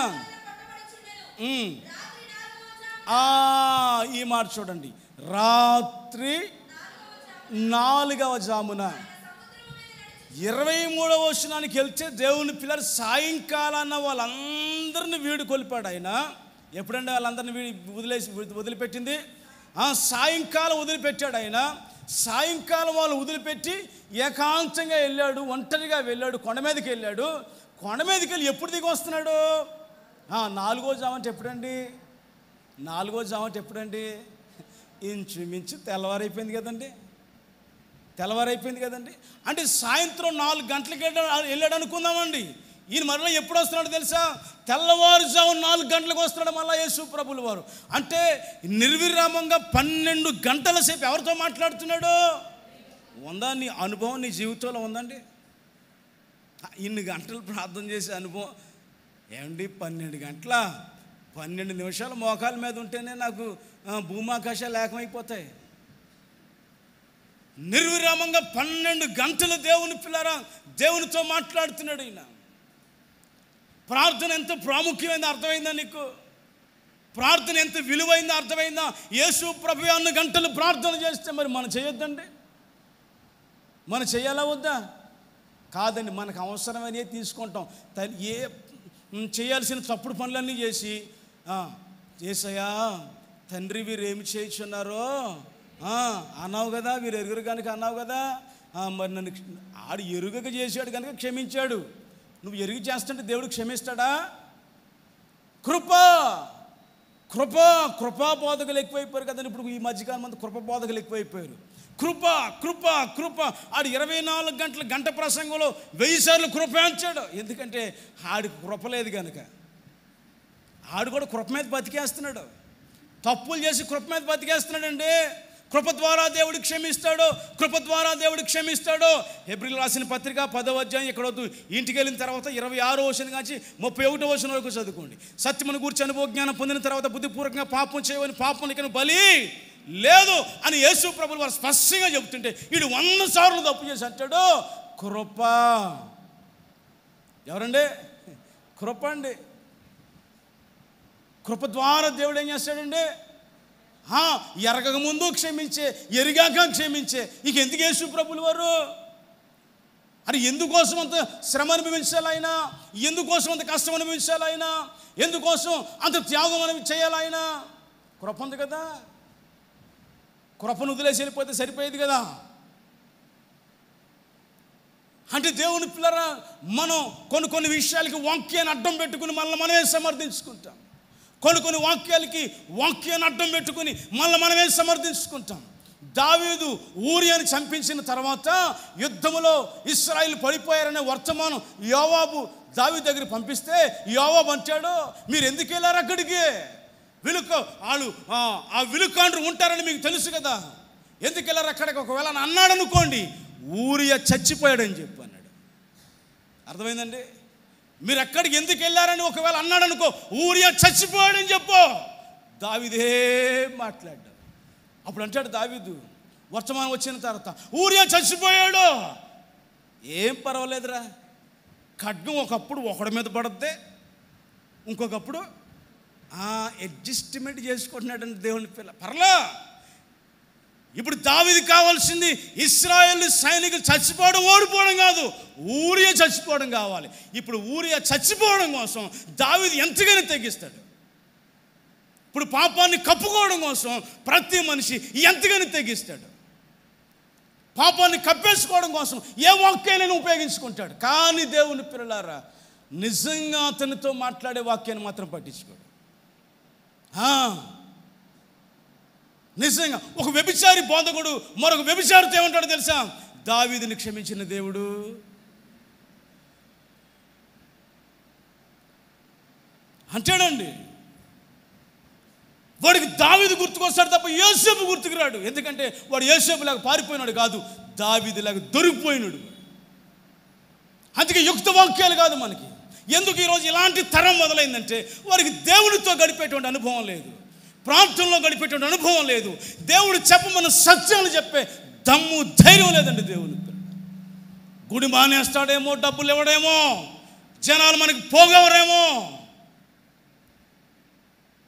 తండ్రి ఆకర్షించే వాళ్ళు నిజమైన విశ్వాసులు కానీ మనం ఆకర్షించుకుంటున్నామే. మనం ఆకర్షించుకుంటున్నామే ఏదో చూపించి ఏదో చూపించి మనం ఆకర్షించుకుంటున్నామే వీళ్ళెవరు పరలోకానికి పోయేవాళ్ళు కాదు. మనం పోగేసుకుంటున్నామే హై, వీళ్ళెవరు పరలోకానికి పోయేవాళ్ళు కాదు. అంటే పన్నెండు గంటల సేపు యేసు ప్రభులు వారు ప్రార్థన చేసి చేసి అప్పుడు వచ్చారండి. ఈరోజు మనకు అనుభవం ఉందండి. ఆ ప్రార్థన అనుభవం మన జీవితాల్లో ఉన్నాయండి దేవుని పిల్లలారా. మోహన్ సేపు ప్రార్థన పన్నెండు గంటల ప్రార్థన. అంచవంటి దేవుని పిల్లలు. అలాంటి మాటలు మన జీవితాల్లో మనం మాట్లాడుతూ ఉంటామండి దేవుని పిల్లలు మీకు మరొక మాట చెప్తాను చూడండి. లూకాశుభవార్త ఆరవ అధ్యాయం పన్నెండవ వచనం. త్వర త్వరగా. ఆరు పన్నెండు. ఆ దినముల యందు ఆయన ప్రార్థన చేయుటకు కొండకు వెళ్ళి దేవుని ప్రార్థించుట ఎందు రాత్రి గడిపాను. హలేలుయా ప్రార్థన చేయటం ఎందు ఏం గడిపాడంటండి? అమ్మ ప్రార్థన చేయటం ఎందు ఏం గడిపాడండి? చెప్పాలి. ప్రార్థన చేయటం ఎందు రాత్రంతా గడిపాడంట. గడపగలవా మనం? గడపగలమంటారా మనం? ప్రార్థన చేయటం ఎందు రాత్రి అంతా గడిపాడంట దేవుడు. రాత్రంతా ప్రార్థన చేస్తూనే ఉన్నాడు. మనమా ప్రార్థన అంటే అమ్మో గంట సేపు ఎలా చేయాలండి? నీకు భారం లేదు కంటే నీకు ప్రార్థన గంట సేపు కాదు. నువ్వు నువ్వు ఒక నిమిషం కూడా చేయలేవు.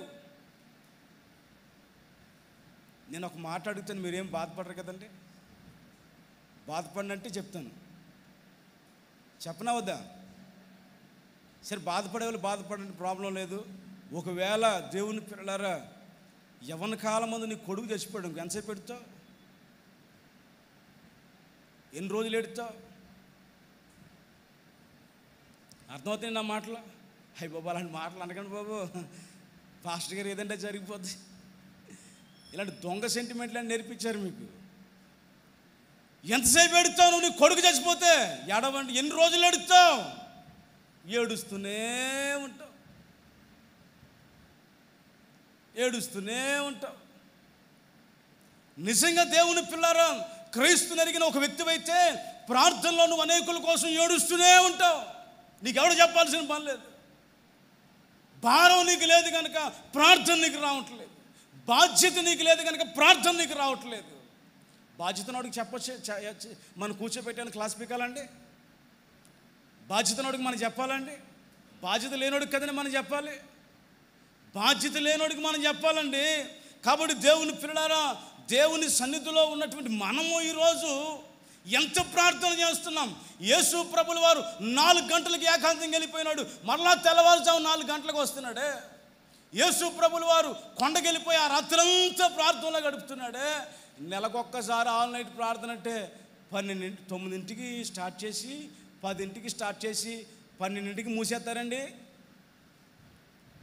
ఆన్లైన్ ప్రార్థన అంట పదింటికి స్టార్ట్ చేసి ఎన్నింటికి ఆపేయాలంటండి? అయ్యి బాబోయ్. మళ్ళీ రెండు గంటల్లో పాటలు ప్రార్థన సాక్ష్యాలు అన్నీ అయిపోయిన తర్వాత ఆఖరిలో పాస్టర్ గారు తండ్రి ఎక్కువ కుమారుని ఎక్కువ పరిశుద్ధాత్మ నామం ఆమె నన్నంగానే పరుగో పరుగు. కొంతమంది పాపం దిండు దుప్పటి కూడా తెచ్చేసుకుంటారండి. నైట్ ప్రార్థన అంటే.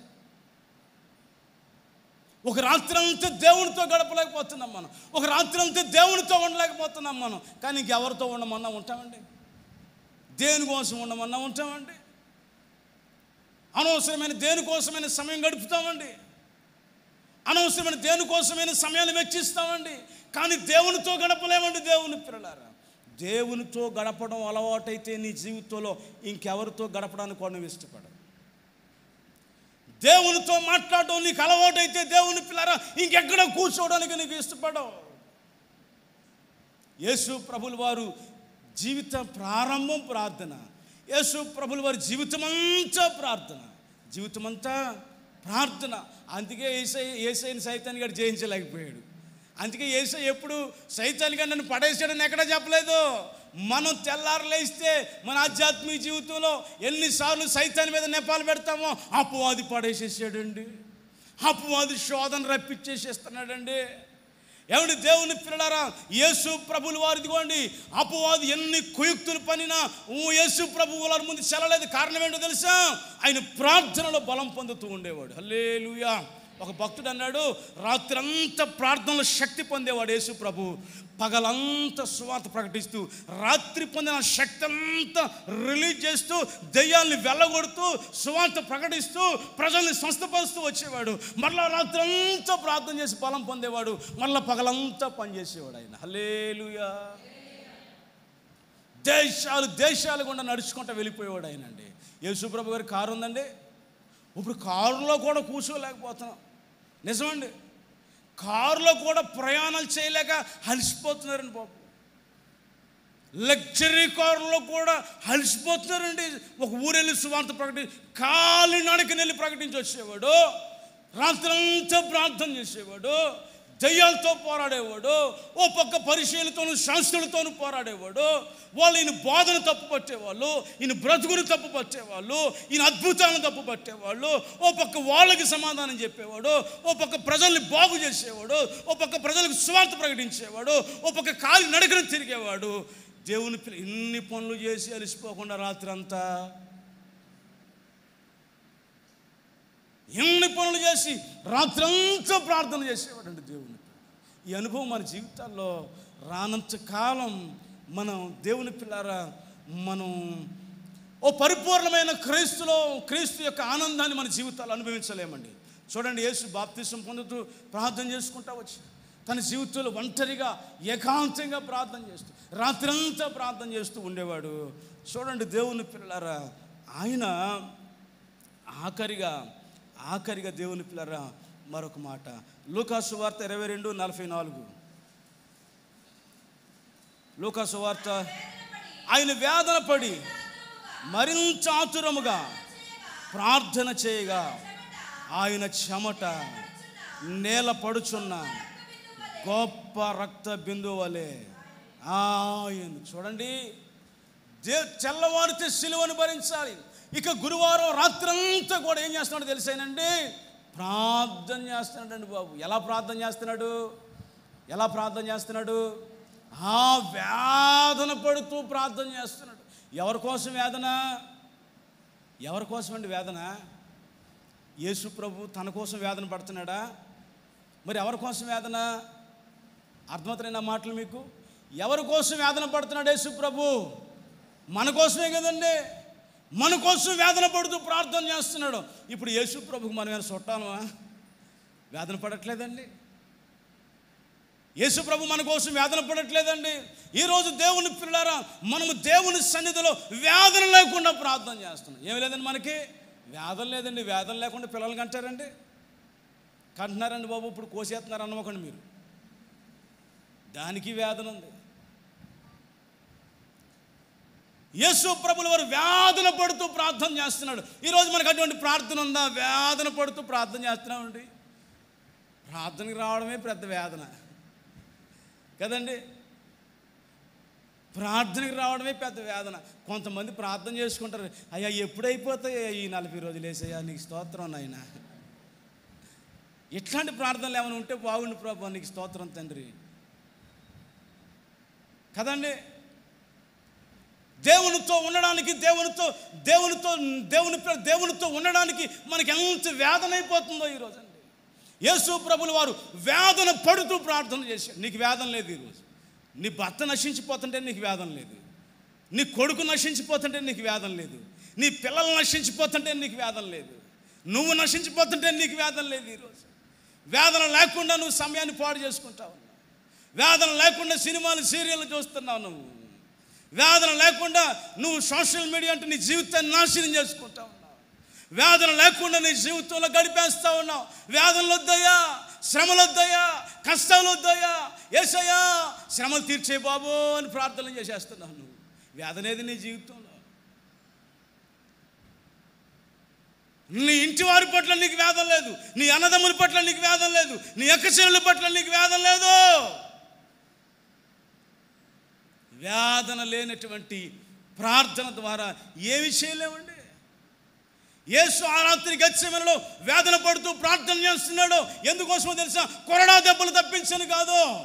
ఈ ప్రజల్ని రక్షించని. హలేలుయా ఆ వేదన ఈరోజు మనల్ని బ్రతికించిందండి బాబు. ఆ వేదన ఈరోజు దేవుని పిల్లర మనం సిలువ రక్తంలో కడగబడ్డామండి. ఏది మనకి ఈరోజు వేదన? వేదన ఉండకూడదు. వేదన ఉండకూడదండి మీకు వేదన ఉండకూడదనే కదండి ఏసీ పెట్టాం. మీకు చెమట అట్టకూడదండి బాబు. ఆయన చెమట రక్త బిందువుల వలె పడినంతగా వేదన పడి ప్రార్థన చేశాడండి యేసు ప్రభు. మీకు వేదన ఉండకూడదండి మీకు చల్లగా ఉండాలండి బాబు సమ్మగా ఉండాలండి బాబు. అర్థమైందండి? ఏం చేస్తామండి దేవుని పిల్లలు? ఏం చేస్తామండి? వేదన పడే మనుషులు లేరండి. ఒకవేళ నా ఒకవేళ మాలంటూ ఎవరైనా మీరు వేదన పడండి అని వాక్యం చెప్తున్నాం అనుకోండి. మిమ్మల్ని దైవికంగా పెంచాలని కోరుకుంటున్నాం అనుకోండి పక్కనే ఇంకొకటి పెడతాడు. రండి వినండి. రక్షణ ఇదే సత్యవాక్యం. భూమి మీద ఇంకెవడో సత్యవాక్యం చెప్పడం. వచ్చేయండి. అంటున్నాడండి. మీరు సుఖాలు ఎక్కడ ఉన్నాయో చూసుకున్నారు తప్ప సత్యం ఎక్కడ ఉందో చూసుకోవట్లేదు.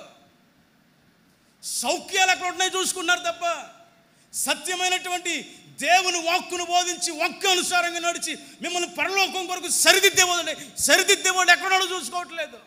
సుఖాలు ఎక్కడ ఉన్నాయో చూసుకుంటున్నారు మీరు. సౌఖ్యాలు ఎక్కడ ఉన్నాయో ఆ, అవి చూసుకుంటున్నారు మీరు. కానీ యేసు ప్రభులు వారు చెమట రక్తంగా కార్యలాగా ప్రార్థన చేస్తున్నారు. వేదన పడుతూ ప్రార్థన చేస్తున్నాడు. ఈరోజు ఆ వేదన మనకు ఉందా అండి? మోకాలు వేస్తారా ఒక గంట సేపు తెక్కకుండా ఒక వన్ అవర్ గంట మోకాల మీద ఎవరైనా ఉంటారని అడుగుతున్నాను నేను.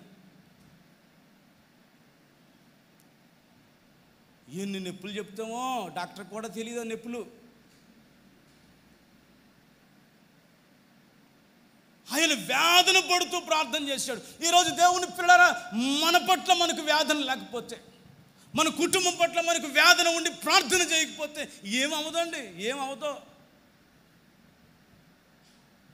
ప్రార్థన అనగానే దేవుని పిల్లరా అదేదో కాలక్షేపం కోసం చేసేది కదండి. గెత్సేమనిలో యేసు ప్రభు ప్రార్థన చేస్తున్నాడు చూడండి. గెత్సేమనలో యేసు ప్రభు ప్రార్థన చేస్తున్నాడు. యేసు యేసు ప్రభు ప్రార్థన చేస్తున్నాడు. ఇదిగో చెమట రక్త బిందువులుగా మారిపోయేలాగా వ్యాధుల పడుతూ ప్రార్థన చేస్తున్నాడండి. దేవుని పిల్లలారా యేసు ప్రభు జీవితం ఆయన సువార్త భూమి మీద చెప్పి ఆగిపోయాడు కదండి? కదా ఆ తర్వాత ఆయన పిల్లలు దేవుని సువార్త చెబుతున్నారు. చూడండి యేసు ప్రభు ఎంత గొప్ప మహోన్నతమైన వ్యక్తో ఈ ఆఖరి మాట చెప్పి ముగిచ్చేస్తానండి బాబు. ఈ టైం ఏంటో ఓ వెళ్ళిపోతుందండి అది. ఒక్క నిమిషం కూడా ఆగట్లేదు. ఆగుద్దామనుకుంటున్నాను అలా ఆగట్లేదండి. హెబ్రిల్ రాసిన పత్రిక హెబ్రిల్ రాసిన పత్రిక ఏడవ అధ్యాయం ఇరవై ఐదవ వచనం. త్వర త్వరగా. త్వర త్వరగా.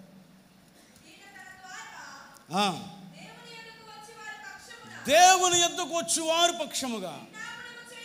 విజ్ఞాపనము చేయుటకు నిరంతరము జీవించుచున్నాడు గనుక వారిని సంపూర్ణముగా రక్షించుటకు శక్తిమంతుడై ఉన్నాడు. హలేలుయా యేసు ప్రభులు వారు భూమి మీద ప్రార్థించడమే కాదండి.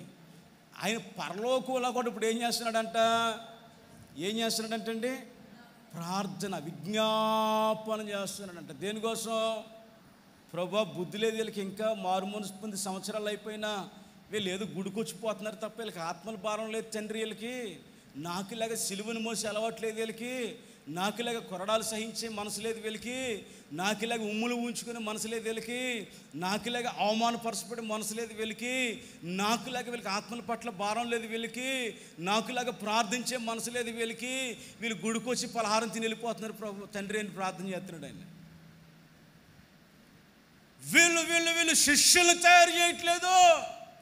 వీళ్ళు వీళ్ళు చుట్టూ మనుషులు పెట్టుకుని టైం గడిపేస్తా ఉన్నారు. నాకులాగా వీళ్ళకి ఆత్మల పట్ల భారం లేదయ్యా అని ప్రార్థన చేస్తున్నాడు తండ్రి కుడి పార్శ్వానికి కూర్చి ఇంకా ఏడుస్తున్నాడు ఏసయ్య. మనం ఏమంటాం తెలుసా? ఏసయ్య నాకు పక్షంగా తండ్రి కుడి పార్శ్వానికి కూర్చి ఇంకా ఏడువయ్యా. ఇంకా ఏడవాలి యేసు ప్రభు నీ గురించి. ఎంతకాలం ఏడిచినా ఇంకా నువ్వు ఏడువయ్యా. మరి నువ్వేం చేస్తావు? నేను టీవీ చూస్తా కూర్చుంటాగా. నేనేమో సీరియల్ చూసి ఎడుతాను నువ్వు నా గురించి ఏడు ప్రభా. నేను సినిమాలు చూసి ఎడుతాను నువ్వు నా గురించి ఏడు ప్రభా. నేను సెల్ ఫోన్ చూసుకుంటా ఉంటాను. ఈ సెల్ ఫోన్ చూసుకుంటా ఏడుతాను నువ్వు నా గురించి ఏడు ప్రభా అనుకుంటున్నాం మనం అంటే. యేసు ప్రభు జీవితం అంతా కూడా ఆయన ప్రార్థన చేస్తూ ప్రకటిస్తూనే వచ్చాడండి. సాతాను మీద జయం పొందినా పాపం మీద జయం పొందినా శిలువ యాగాన్ని జయించినా పునరుద్ధానుడై లేచినా ఇప్పటికీ తండ్రి కుడి పార్శ్వన కూర్చున్నా కారణం ఆయన విజ్ఞాపన ప్రార్థన చేస్తూనే ఉన్నాడు. హలేలుయా హలేలుయా దేవుని పిల్లారా మీరు మీ సమయాన్ని దేవునితో గడపడం ప్రారంభించండి. మీరందరూ గొప్ప యోధులైపోతారు. ఏమండి దేవుని పిల్లలు? మీరందరూ గొప్ప యోధులైపోతారు. మీరు మీ సమయాన్ని దేవునితో గడపడం ప్రారంభించండి. ఒక భక్తుడు మందిరం కట్టాడు ప్రార్థన చేస్తున్నాడు సేవ చేస్తున్న ఒక ఆత్మ రక్షించబట్టలేదు దేవునితో మాట్లాడడం మొదలుపెట్టాడు. ఆరు నెలల పాటు మందిరంలోంచి బయటికి వెళ్ళలేదు. ఆరు నెలల పాటు ప్రార్థన చేస్తూనే ఉన్నాడు దేవుడి సన్నిధిలో. ప్రార్థన చేస్తూనే ఉన్నాడండి. ఇక ఆయన ఎవరితో మాట్లాడలేదు ఆ మందిరం ముందు నుంచి వెళ్ళే వాళ్ళందరూ అక్కడికి రాగానే కన్నీళ్ళు కారు చేర్చేస్తా చేస్తా లోపలికి వచ్చేస్తా ఉన్నారు. హలేలుయా చెప్పండి హలేలుయా ఈరోజు దేవుని పిల్లల మన ప్రార్థన జీవితం ఎంత చప్పగా ఉందోనండి. మన ప్రార్థన జీవితం ఎంత నిర్వీర్యంగా ఉందోనండి. అసలు ప్రార్థనను పేరు పెట్టడానికే సరిపోయినటువంటి ప్రార్థన మన జీవితాల్లో మనం చేస్తాం. దేవునితో సమయం గడపలేకపోతున్నాం. యేసు ప్రభు జీవితం అంతా గడిపాడండి. ఇప్పుడు పరలోకంలో కూడా ఏం చేస్తున్నాడు ఆయన? ప్రార్థన చేస్తూనే ఉన్నాడండి. విజ్ఞాపన చేస్తూనే ఉన్నాడండి. ఆయన విరామం తీసుకోలేదండి. ఆయన ఏం తీసుకోలేదండి? ఆయన విరామం తీసుకోలేదు. మనం విరామం తీసుకుంటున్నామండి. మనం అలసిపోతున్నాం. యేసు ప్రభు అలసిపోలేదు. యేసు ప్రభు కోసం కాదు ఏడవడం మనం. ఏది రేపు గుడ్ ఫ్రైడే రోజు ఏడిచేస్తారు మీకు ఏడిపోచ్చేది వచ్చేది. కొరడా కొట్టారు అనగానే అవునండి. మ్యూజిక్ ఏడుపు వచ్చేస్తుంది అక్కడ మ్యూజిక్ కొరడా కొట్టాడని ఫాస్టర్ గారు అనగానే ఆ కీబోర్డ్ అయిన పెద్ద భయంకర మ్యూజిక్ వేస్తాడనమాట అనగానే అమ్మో ఏసయ్యా నాయనా ఈడి ఈడికే దిగిపోయినట్టు అనుకో భారం లేదండి బాబా. ఇలా డ్రామా ఏడుపులు లేచి అవసరం లేదండి. తెలుసండి ఏడుపులు ఆ డ్రామాలో ఏడుస్తాడు. ఆడ సీన్కి ఆ ఏడుపు ఉండాలి అక్కడ. ఆడ సీన్ బట్టి ఏడుస్తాడు తప్ప ఆడు నిజంగా ఏడవడండి. ఈరోజు డ్రామాలు వేసే వాళ్ళు ఎక్కువైపోయారు చర్చిలో. నిజంగా ఏడ్చే వాళ్ళు లేరు. ఆ ఆంటీ అంటది నాయన ఆ పాట పాడా అని. ఎందుకంటే ఆ పాట పాడాలంటే ఆ పాట పాడితే నాకు ఏడుపు వచ్చేద్దా ఎందుకు బాబు అమ్మ నువ్వు ఏడమ ఒక పాడు నీకు దానం ఈ నువ్వు నేను ఏడితేను నేను పాడితే నీకు వచ్చి ఏడుపు నిజమైన ఏడుపు కాదు. గుండెల్లోంచి వేదన రావాలి నీకు. ఆ గుడ్ ఫ్రైడే రోజు నీకు ఏడుస్తామండి యేసుప్ర యేసుప్రభు పందికి చెప్పగానే చెప్పాడు బాబు మీకు దండం నాయన నా కోసం ఏడవద్దు మీరు. మీరు ఎవరి కోసం ఏడవాలి? మరి ఏడుతున్నారు మీకోసం? ఏడుతున్నారు మీకోసం? అంటే మళ్ళీ యేసుప్రభు కోసం ఏడుతాం గుడ్ ఫ్రైడేకి వచ్చి ఏమండి? ఏడిసి ఏడిసి మళ్ళీ వెళ్ళేటప్పుడు రసన తాగేసి. మరి మూడింటి దాకా ఉన్నాం కదండి. ఏమంటే తొమ్మిది గంటలకి సిలువ వేస్తే మూడు గంటల వరకు సిలువ మీద వేలాడినాడు. ఎర్రటి ఎండలో కాలిపోతూ సిలువ మీద వేలాడినాడు. వేలాడినోడికేమో చేదు జరిగిచ్చారు. ఏసీలో కూర్చున్న వాళ్ళకేమో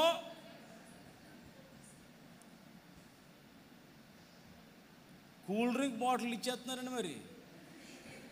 తాగేసి వెళ్ళిపోవట్లేదండి మీరు? ఇవ్వకపోతే మీరు ఊరుకుంటారండి. ఎంతసేపా? ఎంతసేపా? ఎంతసేపా? ఎంతసేపా అని పాటలు పాడరండి. అంటారనరండి పౌలు గారు అంటారు మనం సిగ్గుపడాల్సిన విషయాలు ఏం చేస్తున్నాం? చెప్పాలి. సిగ్గుపడాల్సిన విషయాల్లో అతిశయిస్తున్నాం. ఇప్పుడు మనం సిగ్గుపడాల్సిన విషయాలు మనం ఏం చేస్తున్నాం? నవ్వుకుంటున్నాం. అవునా కదంటారా? కనీసం ఆ గుడ్ ఫ్రైడే రోజునైనా నీ కోసం నీ పిల్లల కోసం ఏడుతున్నావు అంటే ఏడవో యేసు ప్రభు చూస్తాడు ఎవడన్నా ఆడి కోసం ఏడుతున్నాడేమని ప్రతి గుడి తిరుగుతాడంట. ఏ గుడిలో కూడా వాళ్ళ కోసం ఏడ్చే వాళ్ళు కనపడరంట యేసు ప్రభుకి. ఆయన కోసం ఏడుతారంట. ఆయనకి ఏమైనా చిరాకు ఆయన కోసం ఏడితే? నా కోసం ఎందుకు ఏడవాలా? ఏడవలసిన వాళ్ళ కోసం యేసు ప్రభు ఏడిసి చేయాల్సిన త్యాగం చేసి వెళ్ళిపోయాడు ఆయన. ఇంకా ఆయన కోసం నువ్వు ఏడవలసిన పని లేదు. నీకు నువ్వుగా దేవుని సన్నిధిలో ఆడవాలి యేసు ప్రభులు వారండి అంత జీవితం అంతా ప్రార్థనేనండి బ్రతుకంతా ప్రార్థనేనండి. మన జీవితాలేనేమో ప్రార్థన లేదా ప్రార్థన గురించి మంచి మంచి ప్రసంగాలు వింటాం మనం కానీ ప్రార్థన మాత్రం చెయ్యం. ఇప్పుడు మాత్రం మీరు ఈ మాటలు గుర్తెట్టుకుంటారు అనుకుంటున్నారా మీరు? తెల్లారికల్లా మర్చిపోకపోతే నన్ను అడగండి. అవునండి. మీరు ఇప్పటికైనా సరే దేవుడు మాట్లాడాడు ప్రభు మాట్లాడాడు కదా. ఈ రోజు నుంచి నేను బుద్ధి తెచ్చుకుని మోకరిద్దాం. కనీసం రోజుకు ఒక గంట అయినా ప్రార్థన చేద్దాం. నశించిపోయే ఆత్మల కోసం అనుకుంటారండి మీరు? ఇప్పుడు అనుకుంటారండి ప్రార్థన అయిన తర్వాత. ఆ తర్వాత మర్చిపోతారండి. మనం అలా అలవాటు అయిపోయామండి. మనకి ఏమాత్రం ఏమి లేదు లోపల భారం లేదండి వేదం లేదండి. క్రీస్తుని గురించినటువంటి సరైన అవగాహన లేదండి. క్రీస్తు అనగానే మనకు అన్ని లాభాలు తెచ్చిపెట్టేవాడే తప్ప క్రీస్తు కొరకు మనం నష్టపోయేదేమీ లేదండి. యేసుప్రభు దగ్గరికి వచ్చిన తర్వాత లాభాలు చెప్పుకుంటాం తప్ప నష్టాలు ఎవరైనా చెప్పుకుంటారండి? అట్లా చెప్పేవాళ్ళు ఉన్నారండి సంఘాల్లో? సాక్ష్యం చెప్పమంటే నష్టాలు చెప్పేవాళ్ళు ఉన్నారండి? యేసుప్రభు నమ్ముకున్నాను ఇల్లు అమ్మేసానని చెప్తాండి ఎవడైనా? ఏమండి చెప్తారండి? యేసుప్రభు నమ్ముకున్నాను పొలం అమ్మేసి అంటాడండి ఎవడైనా? యేసుప్రభు నమ్ముకున్నాను దేవుని దేవాలు రెండు ఎకరాలు కొనేసారండి అన్యాయంగా. లేలుయా అబద్ధాలు ఆడేసి మోసం ఆడేసి కొనేసారండి. దేవునికి స్తోత్రం. అలేలుయా వచ్చే ఆదివారం మనందరికి భోజనాలండి. ఇదే కదండి సంఘం అంటే? ఇదే కదండి ఇవాళ? ఎవరు నశించిపోతున్న ఆత్మలు మందిరానికి తీసుకొస్తున్నారండి? అయ్యారండి ఈరోజు ఈ వారం అంతా కష్టపడి ఒక వ్యక్తికి ప్రార్థన చేసి ఒక వ్యక్తికి సువార్త చెప్తే తీసుకొచ్చారండి బాబు. ఈయన బాప్తిసంలోకి నడిపించండి. ఈ నేసుకృతి శిష్యుడిగా చేయండి బాబు అని. సేవకులకి అప్పగించిన వాళ్ళు ఒక్కళ్ళు ఎవరైనా ఎక్కడ ఉంటే ఇప్పుడే వాళ్ళ పాదాలు గడిగి వాళ్ళ నీళ్ళు నెత్తి మీద పోసుకుని ఇంటికి వెళ్తాను నేను. ఏదండి మరి భారం లేదండి బాబు? మనకి బాధ్యత లేదండి మనకి. వచ్చాం కూర్చున్నా వెళ్ళిపోయాం అనుకుంటున్నామండి. యష్యా ప్రవక్తతో చెప్పినట్లుగా చెప్తున్నా మృదువుగా మృదువుగా మాట్లాడు బాబు ఎందుకంత అరుతున్నావు ఎందుకంత గట్టిగా ఎక్కలేదు మాకు వినపడదు అనుకుంటున్నావా పరిశుద్ధాత్మ అంటే ఏంటి? ఎందుకని అరుతున్నా? అంటారండి. మీ ముఖాలు చూస్తుంటే పరలోకి వెళ్తున్నారు నరకంకి వెళ్తున్నారు యేసు ప్రభుకు తెలుసు. అలాంటి యేసు ప్రభు మిమ్మల్ని గురించి గట్టిగా మాట్లాడుకుంటారు. మిమ్మల్ని ఖండించకుండా బుద్ధి చెప్పకుండా వేదన పడకుండా రోధించకుండా మౌనంగా ఎట్లా మాట్లాడగలండి బాబు? మీకు మృదువైన మాటలు చెప్పగలరు యేసు ప్రభు మీరు నరకానికి పోతా ఉంటే. మీరు సంతాన బందికానాలో ఉంటే మీకు మూత మీతో మృదువుగా ఎట్లా మాట్లాడగలరు యేసు ప్రభు? నీ పిల్ల మంటల్లో కాలిపోతా ఉంటే బాబు కాలిపోతున్నావు. అంటవా? అంటవా పరుగులెత్తవా? గుండ్లు బాదుకోవా అవసరత మంటలోకి దూకేవా? మరి ఏది నీకు ఈ భారం ఏది? ఈ బాధ్యత ఏది? దేవుని పిల్లలు ఇలాంటి పరిస్థితుల్లో నువ్వు కొనసాగుతున్నావు. ఒకసారి ఆలోచించుకో దేవుని సన్నిధిలో.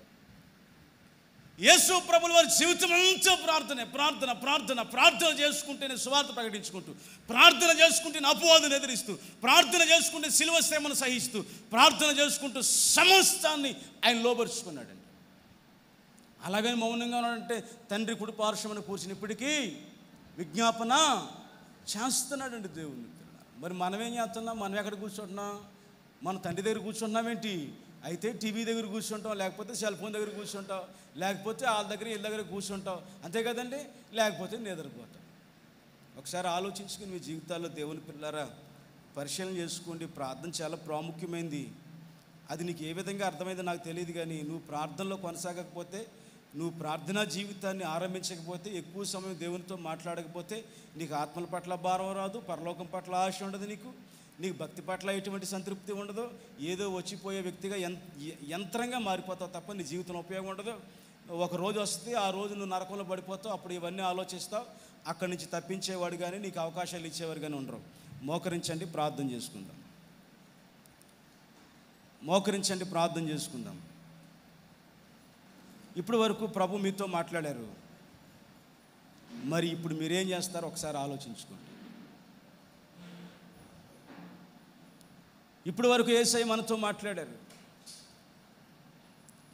యేసు ప్రభు నీతో మాట్లాడడం నీకు అర్థమవుతుంది నువ్వేం చేస్తావో తెలుసా? మోకరించిన నీవు నీ హృదయ స్థితిని జ్ఞాపకం చేసుకుంటావు. ప్రభుతో నువ్వెంత సమయం గడుపుతున్నావో ప్రభుతో నువ్వెంత స్తోత్ర. అమ్మా.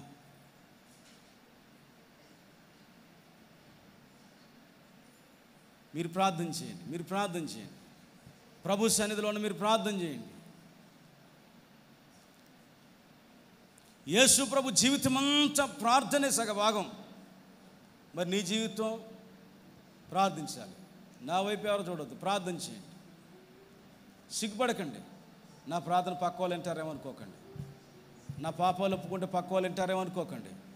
ధైర్యంగా ప్రార్థన చేయండి ప్రభు సన్నిధిలో. ధైర్యంగా ప్రార్థన చేయండి ప్రభు సన్నిధిలో.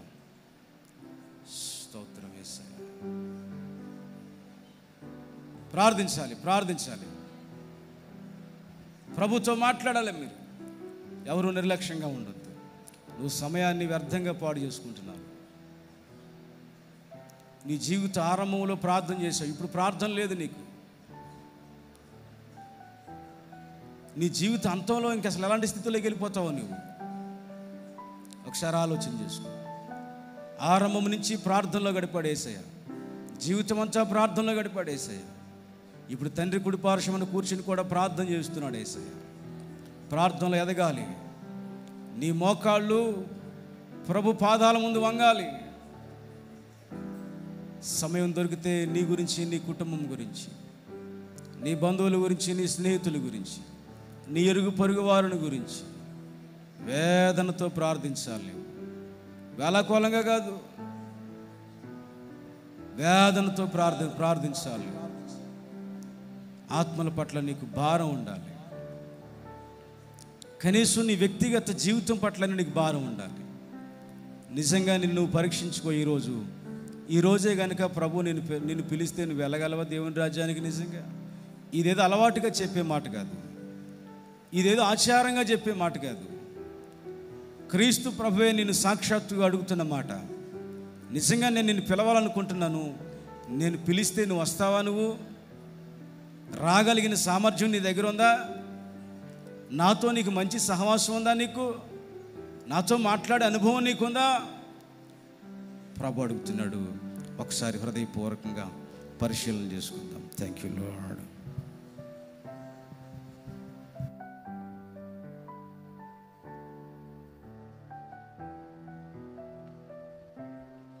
ప్రార్థన చేద్దాం. అందరూ కూడా ఒక తీర్మానాన్ని ఈ రోజున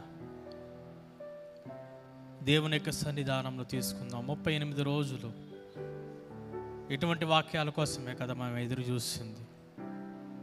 మన యొక్క గుండెలను బద్దలు కొట్టే వాక్యం కావాలి. మన యొక్క హృదయాలను చీల్చే వాక్యం కావాలి. సత్యాలను నేర్పించే వాక్యం కావాలి. ఈరోజు ఎంత చక్కటి వాక్యాన్ని మనం విన్నాం. నా మట్టుకు నేను కూడా ఒక తీర్మానం తీసుకున్నాను. అవును కదా? ప్రార్థించలేని స్థితిలో మనం ఉన్నాం. ప్రార్థించటానికి బిజీ అయిపోయాం. ప్రార్థించటానికి మోకాళ్ళు వంగట్లేదు. ప్రార్థించటానికి మనకు భారం లేదు. ప్రార్థించటానికి మనకి వేదన లేదు. ప్రార్థనలో ఉండటానికి మనకు సమయం లేదు. అన్నీ చేయటానికి మనకు సమయము సందర్భం ఉంటుంది కానీ ప్రార్థన అంటే నిర్లక్ష్యం. ఎంత దౌర్భాగ్యమైన స్థితిలో ఉన్నాం మనం. ఎంత దౌర్భాగ్యమైన స్థితిలో మన బిడ్డలు ఉన్నారేమో. ఎంత దౌర్భాగ్యమైన స్థితిలో మన కుటుంబాలు ఉన్నాయి. ప్రార్థన చేయండి. దేవా ఈ రోజు నుంచైనా ప్రభు నా మోకాళ్ళను వంచు నాయనా. ఈ రోజు నుంచైనా ప్రభు ప్రార్థన చేయటం నాకు నేర్పించు నాయనా. యా వేదన కలుగు చేయనైనా నాయనా. భారమునివ్వు నాయనా సహాయం దయచేయండి నాయనా. ప్రార్థన నేర్పించు నాయనా. పనికి మాలిన విషయాలను పక్కన పెట్టి ప్రార్థన చేయటం మాకు నేర్పించు నాయన. మాలో శక్తిని నింపు నాయన. నరకం నుంచి తప్పించు నాయన. అయ్యా పాపము నుంచి మమ్మల్ని సంపూర్ణముగా విడుదల కలుగు నాయన. మా పాపమే మా యొక్క ప్రార్థనా జీవితాన్ని దూరం చేస్తుంది. అయ్యా మా యొక్క పాపమును క్షమించు నాయన. ప్రార్థన చేసి పాపాన్ని దూరం చేసుకోవడానికి అవకాశం కలుగు చేయను సహాయం దయచేయండి ప్రార్థించే యోధుడుగా ఉండటానికి మీరు కృప చూపించండి. ప్రార్థన నేర్పించండి.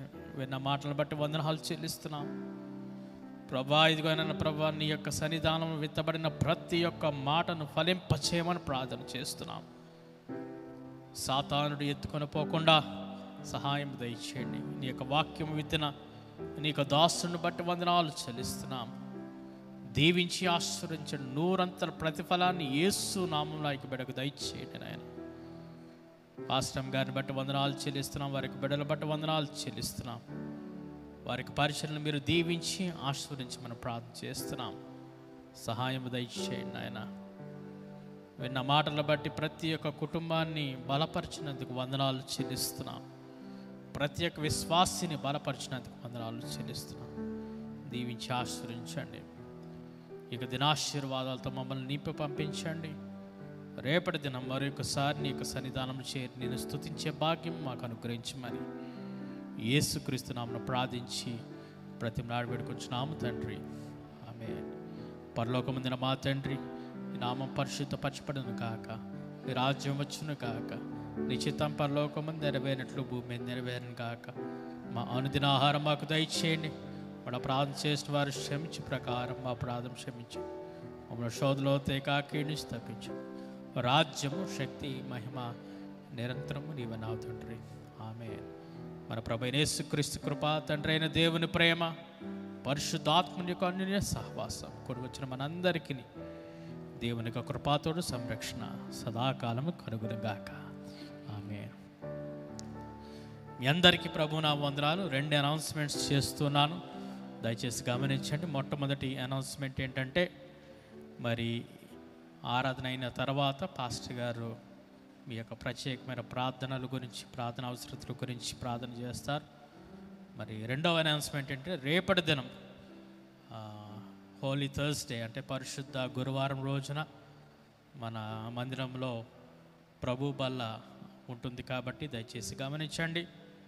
ఎనిమిది గంటలు ఎనిమిది గంటలకి ఆరాధన ప్రారంభమవుతుంది. కానీ ఎనిమిది అంటే మీరు తొమ్మిది గంటలకు వస్తున్నారు కాబట్టి రేపు ఆరాధన తొమ్మిది గంటలకే ప్రారంభిస్తూ ఉన్నాం.